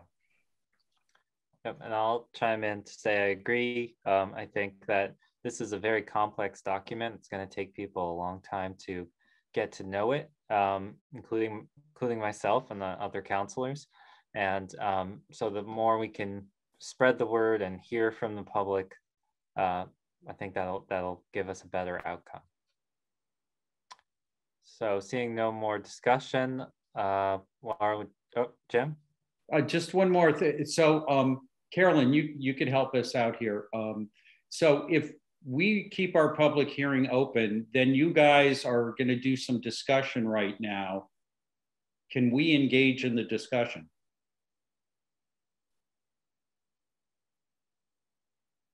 Um, you've continued your hearing. I mean, um, uh, well, wait, so um, you could engage in the discussion. You're still taking public comment, um, public hearing comments in two weeks. So um, you can certainly stay and listen, ask questions. Uh, well, actually, you couldn't ask. Um, your hearing, the planning board just closed its hearing. So um, you can certainly stay and listen because now it's just a discussion amongst the planning board members. And they've closed their hearing. Okay. All right. Thank you for clarifying. Uh, I like talking to the planning board. uh, Sorry, when I when I moved to close the public hearing, I didn't think I was closing it to the city councilors. That if this is a joint session. Is that did I misunderstand this? Well, the problem is, David, is that we if we leave op- if we continue our hearing, then that has to continue to include the public. And so if y'all have closed yours and we haven't closed ours, then then then we we cannot continue to take public comment as part of our hearing.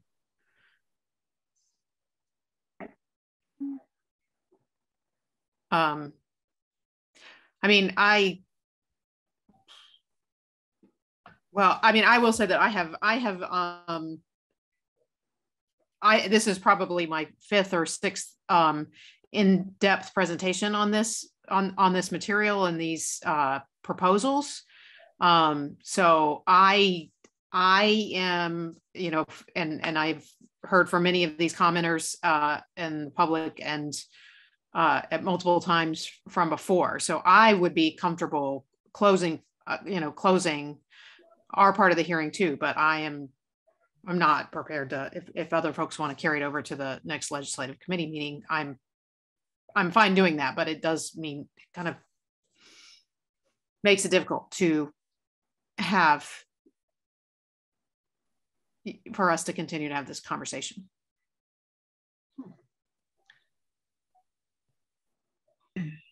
Yep. I mean, I guess I would say that I I, I value the joint conversation with the planning board as sort of the next process in in my in the in our deliberation.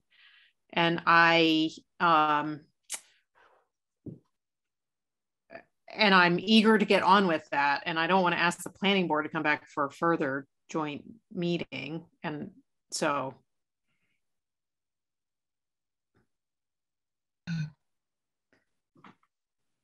I mean, they're just listening they can listen and they can take what they want from it and be the be the elected officials they are. and and just so that everyone understands, I want to clarify. So the process is planning board makes a recommendation to full city council. Legislative matters also makes a separate recommendation to full city council, but typically legislative matters likes to be sort of the last stop before making their recommendation to city council. So it's often the case that legislative matters continues either its discussion or the public hearing itself plus discussion to another time, um, particularly on um, bigger zoning changes. You know, smaller ones you guys have sometimes have joint hearings and just dispense with it all together in the same meeting. Thank you for that clarification. Um, so unless there's any other discussion or desire to change, uh, would go with the motion on the floor to continue the public hearing. Seeing no hands, uh, Laura, would you call the roll? Councillor Jarrett. Yes. Councillor Elkins. Yes. Councillor Moulton. Yes. And Councillor Nash. Yes. Uh, legislative matters has one more item. Uh, that if we could just dispense with that one, then we can adjourn legislative matters and the planning board can continue as, as they wish. Does that make sense? Yep. Great. So uh, the item is the approval of the minutes of November 8th, 2021. Can I have a motion to approve those? I have motion to approve. Second. Any discussion on those minutes? Roll call, please. Councillor Jarrett. Yes. Councillor Elkins. Yes.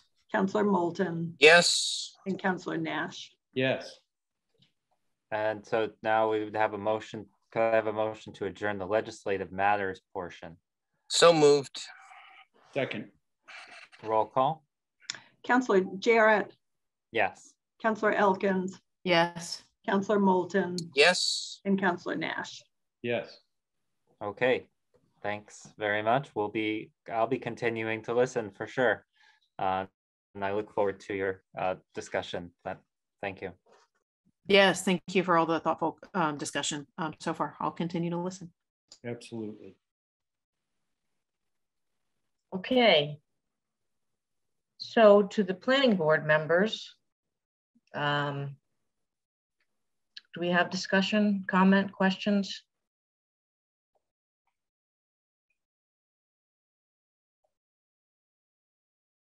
My understanding, correct me if I'm wrong, Carolyn, is that we have um, a choice tonight to recommend to adopt these amendments to the full city council as is. Uh, we can also recommend to do that with any changes that we may have. Um, or we can recommend not to. Right. Or if you um, didn't, I mean, you can also say that you want to take it at your next meeting, but that is after legislative matters um, right. continued public hearing. Right. So we do have the option as well to continue the public hearing on our on our side. Not a public hearing, just your discussion oh, and discussion. recommendation. Okay, got it. Okay. So what do the other board members think? I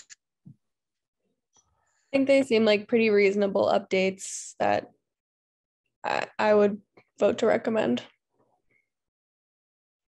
Um, I am confused, I guess, about what the point of this meeting was. Uh, I think we heard one public comment that even referred to the form-based code at all. I mean, I know other people have comments about other things, but and then we're not really having a conversation with legislative matters. So uh, I would vote to strike out all references to mansard roofs in the uh, text and approve the rest.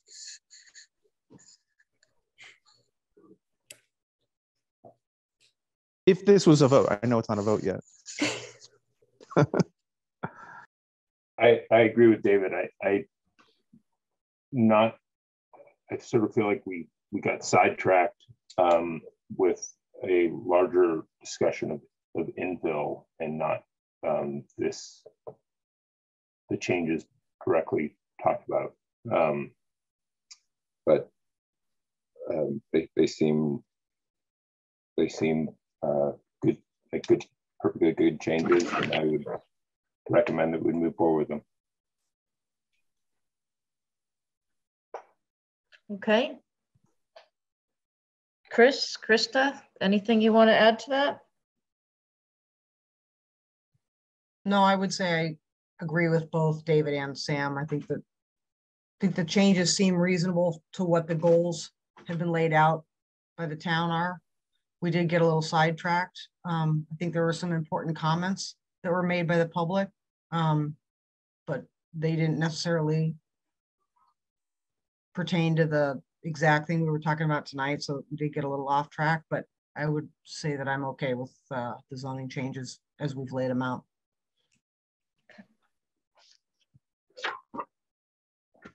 Yep, I have, I have no comments. Okay.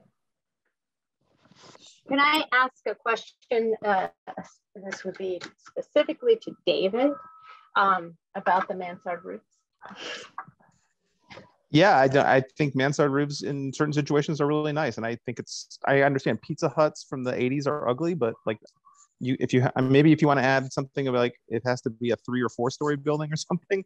Uh, there's some beautiful mansard buildings uh, as part of Smith campus along Main Street. I wouldn't want to retroactively make those crimes against the city of Northampton. So uh, I think it's a really kind of silly rule. So I would take it out. And, you know, I don't know. We saw this development on William Street. I know it had some really strange roofs because of the, you know, solar ready part of the zoning. Um, but I actually think a mansard roof in that building would have made it look a lot better. So anyway, I just think a mansard roof is a nice design thing. And I don't think, you know, Dodson and Flinker should limit other architects from using it in the future. And, uh, you know, I'll, I don't know. So I won't die by that though. yeah. so it wasn't. Uh, it wasn't Dodson Flinker in particular. They're actually it's in the existing central business architecture guidelines hmm. um, mm.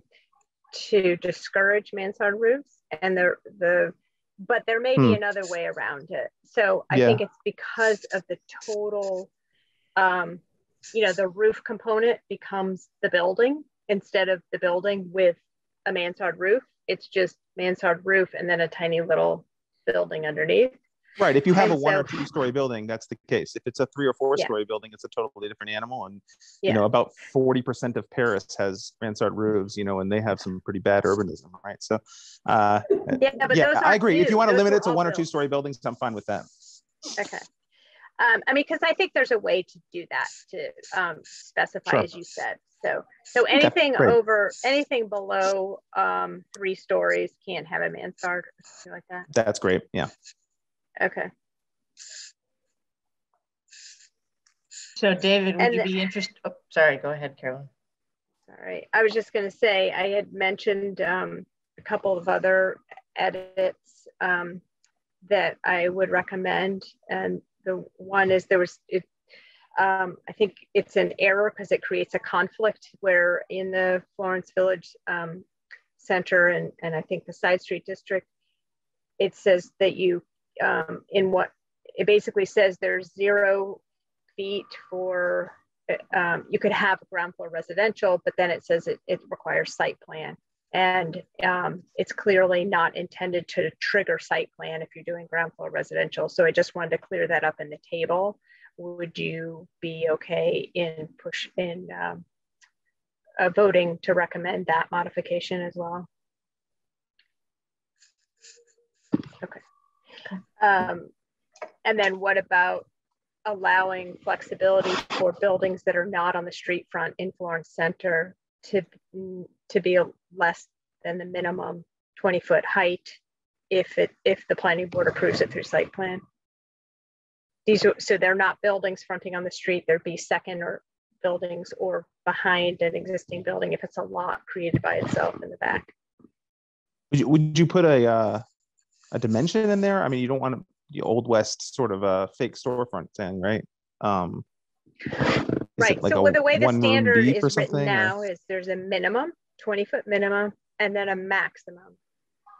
Right. So I'm just suggesting that you could put um, an additional comment in there that if you want to do less than 20 feet, you first have to get approval from the planning board. And it can only be a case in which the building is behind another building. Otherwise, you need to meet the 20 foot minimum height. Does every but in under the current rule, does every part of the new building have to be 20 feet minimum? It's or it's just the roof line. I mean, you could have a part of it that's less, right? So the way that, so it's not about roof line now. There's actually no minimum in Florence Center. There's a minimum in downtown and in along King Street. And so it's basically pulling those minimums and and also having a minimum applied in Florence Center. Um, and uh, so that part is new. The minimum is new in Florence I, I guess what I mean is when I say the existing, I'm saying the existing way it's written that we're reviewing, like the draft. Oh, sorry. The 20, Eh, the, the- if, if the current rule is really a 20 foot minimum at the street, not not behind the street wall anyway, right? Like you could have a 30 foot building and then it steps down to 20 feet, 60 feet back on the lot. That wouldn't be a non-complying thing, right? It's not a 20 foot minimum Right, I mean, the that would be the whole building anyway. Right. The idea is that it's at the street, but it doesn't, um, but this is for deta- a, a new building. Let's say it's a completely separate building, or maybe it doesn't have street frontage. So that is not specified. So you don't need frontage in this district. You don't need to be on a street to build on a separate lot or to build a separate building. So it's really for the buildings behind the street that I'm asking about whether that makes sense or just want to keep it as is. And to your point or to your question, height is taken to the roof line of a flat roof or to the midpoint of a gabled roof.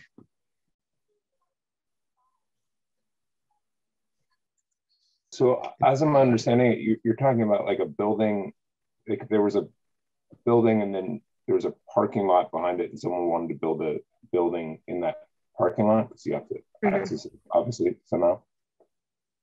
So it makes sense there that you would have to have 20%, I guess, or le- 20 feet or less.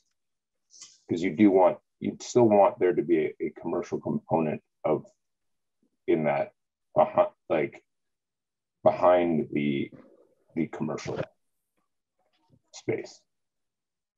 It'll be flexible and that it would be a minimum. So you'd have to have 20, right now, the way it's written is any new building anywhere minimally has to be 20 feet, but it could be up to, you know, I think it's 60 feet. Um, and so, uh, you know, maybe it's not a big enough issue to even warrant discussion, but um, it, um, and, you know, the other thing is if it, it, it may, it may not ever come up. Um, and um, 20 feet isn't that, I mean, the idea is to make sure that we're encouraging, you know, taller multi-story buildings. Um, and then we're not getting one-story buildings um, anywhere in our downtowns in new construction. So the idea is like if someone builds something in Florence Center under the new zoning and it's 30 feet at the street, are they allowed to build a 12 foot high garage in the back of the lot? And we would just want to say that could be okay with site plan review? Yeah. Okay, I'm fine with that. I wouldn't want them to have to come to site plan review just for that though. it seems silly. Well, but you, well, I mean, it depends on, you still have to be in site plan once you hit 2000 square feet of construction. So your parking Oh, garage fine. example, it would be there anyway. Okay, then fine. Okay. Anybody want to take a swing at a motion?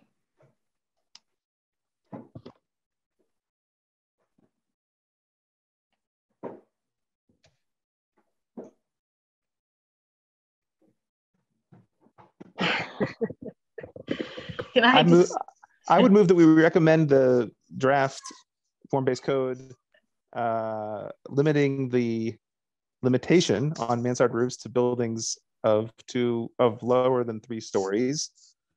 Uh, and I don't know, Carol, you'll have to help me with this last 20 foot thing, but uh, allowing uh, buildings below the 20 foot high minimum height uh, with site plan review. Was that it?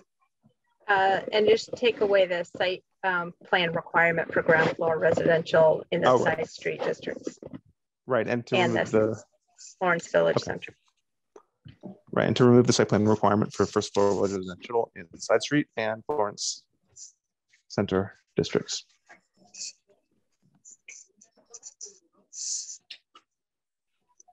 I'll second. okay. We have a second, so we'll take a vote. Uh, Sam, Yes. David, Yes. Corinne, Yes. Krista, Yes. Chris, Yes. and I vote yes as well. Okay. Um, Carolyn, do we have anything else? I don't think we got minutes, right? No, but we have an A and R and then easement um, acceptance um, as part of a street. So um, Am I allowed to make a general comment before we go to those things? Is that, I don't know if that rules of order works or not, but yes, or yeah, okay, I guess that's a. I, I, I just want to put in, I, I don't know if who's still on this call, but I think it's really important that, I mean, there's a huge effort, multi-year, as everyone heard, to, to making this change. And obviously, um, there's a lot of people who really believe in it. And I think it's a really good thing uh, for the process. Um, I do think we should I, I want to send this to legislative matters and the city council with a message on the side saying, I think planning department should work on some very, very simple, easy to read guidelines on how zoning works in the city, like everything on one eight and a half by 11 page. We don't have to get into every detail of things, but it's really important to make this easier for people to understand. It's too hard. And I know what all the reasons why it's too hard, but I really think the people of Northampton who really want to be involved and pretty much everyone I've met in Northampton wants to be involved in very good faith. Uh, I think people would do well and actually would look at it if it was something that was, you know, clear. So anyway, that's not in the motion, but I think it's important. I would agree with that. It's a good comment, David. It's a good So comment. can you- can I just ask- wanna- Can I just ask for clarification? You're talking about this zoning in particular or just generally? No, I think it, works? I think it should be for all zoning. Um, New York City did something like this about 10 or 20 years ago, um, like one pagers for each zoning district, you know, there's lots of ways to do it, but you know, this one kind of lends itself because it's already kind of graphical and stuff, but um, in a sense, it should be easier for people to understand their zoning and how it works, you know, then it's just a really hard topic. It's not an easy task, Carolyn. So I know like it's it's something you have to allocate resources and resources to do. So um, I didn't want to hold up this process for that, but it's I think it's really helpful to you know all these references to the democratic process. Um, you know, this is a very complex industry that involves public, a lot of capitalists, uh, you know, private um, forces, huge international market forces. There's a lot going on. So the more we can make it clear for the parts that Northampton's adding to the complication, you know, that's better. So.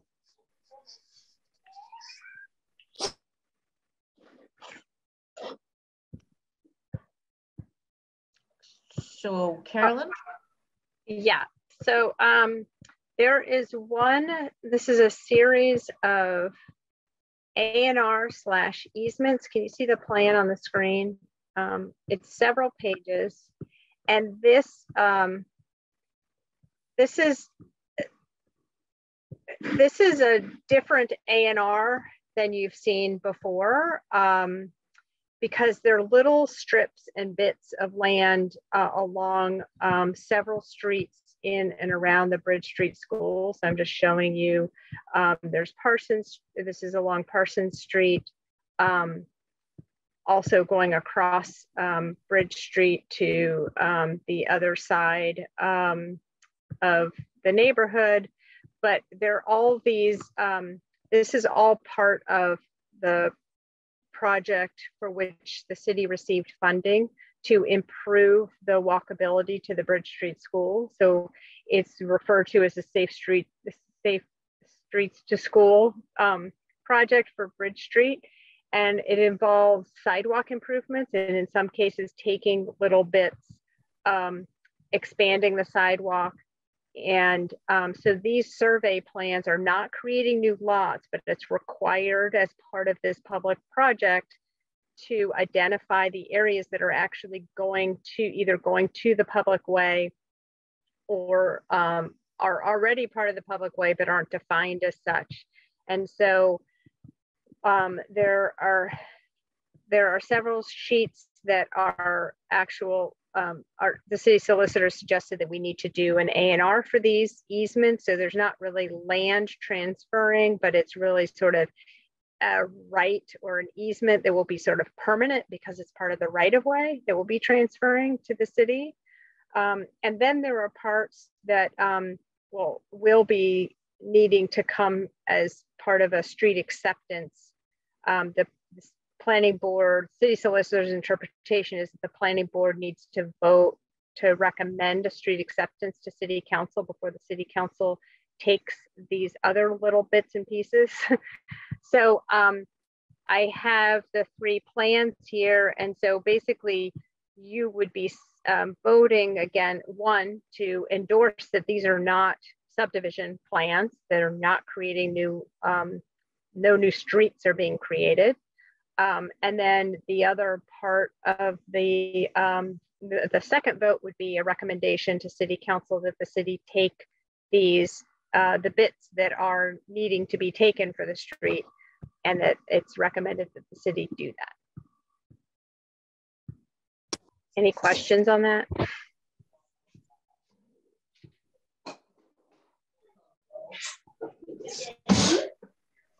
Oh, yeah. No, it's None? for paint. Okay. So I would vote we endorse this plan. A second. And, and it's a second vote for the recommendation you're saying? Yes. Yeah, it's a separate vote. Yeah. Okay, got it. All right. Okay. Okay, so Sam, you second. Yeah. Okay.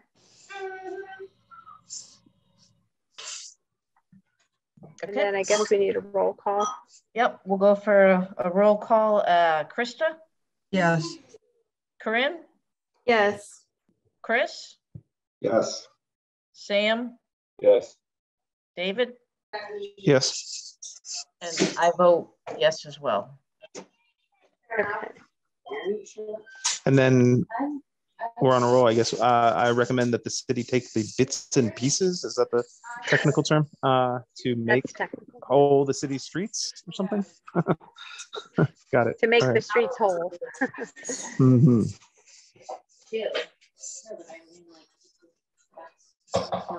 Did I miss that? Did somebody second that? Did No, nobody that? agrees with me. Oh, Yes. okay. Okay. Sam, that was a second. Sam Yes. seconded. Uh, so voice vote, David, Yep. Corinne, Yes. Chris, Yes. Sam, Yes. Krista, Yes. And I vote yes as well. Is that it? Right. That's all I had. I did not get you the minutes. Darn. I read the whole thing on why. So your next meeting is April 14th. Okay. Great. Okay. Uh, if there's not anything else, does somebody want to move to close the meeting? So moved. Second. All righty, one more oh, time. Goats, my goats. Mary, are you liking this Innisfree collection? I saw you had something in the shower and. Yes. Tim said yes. Yes. Corinne, Yes. Krista, Yes. Chris, Yes. and I vote yes as well. Meeting adjourned.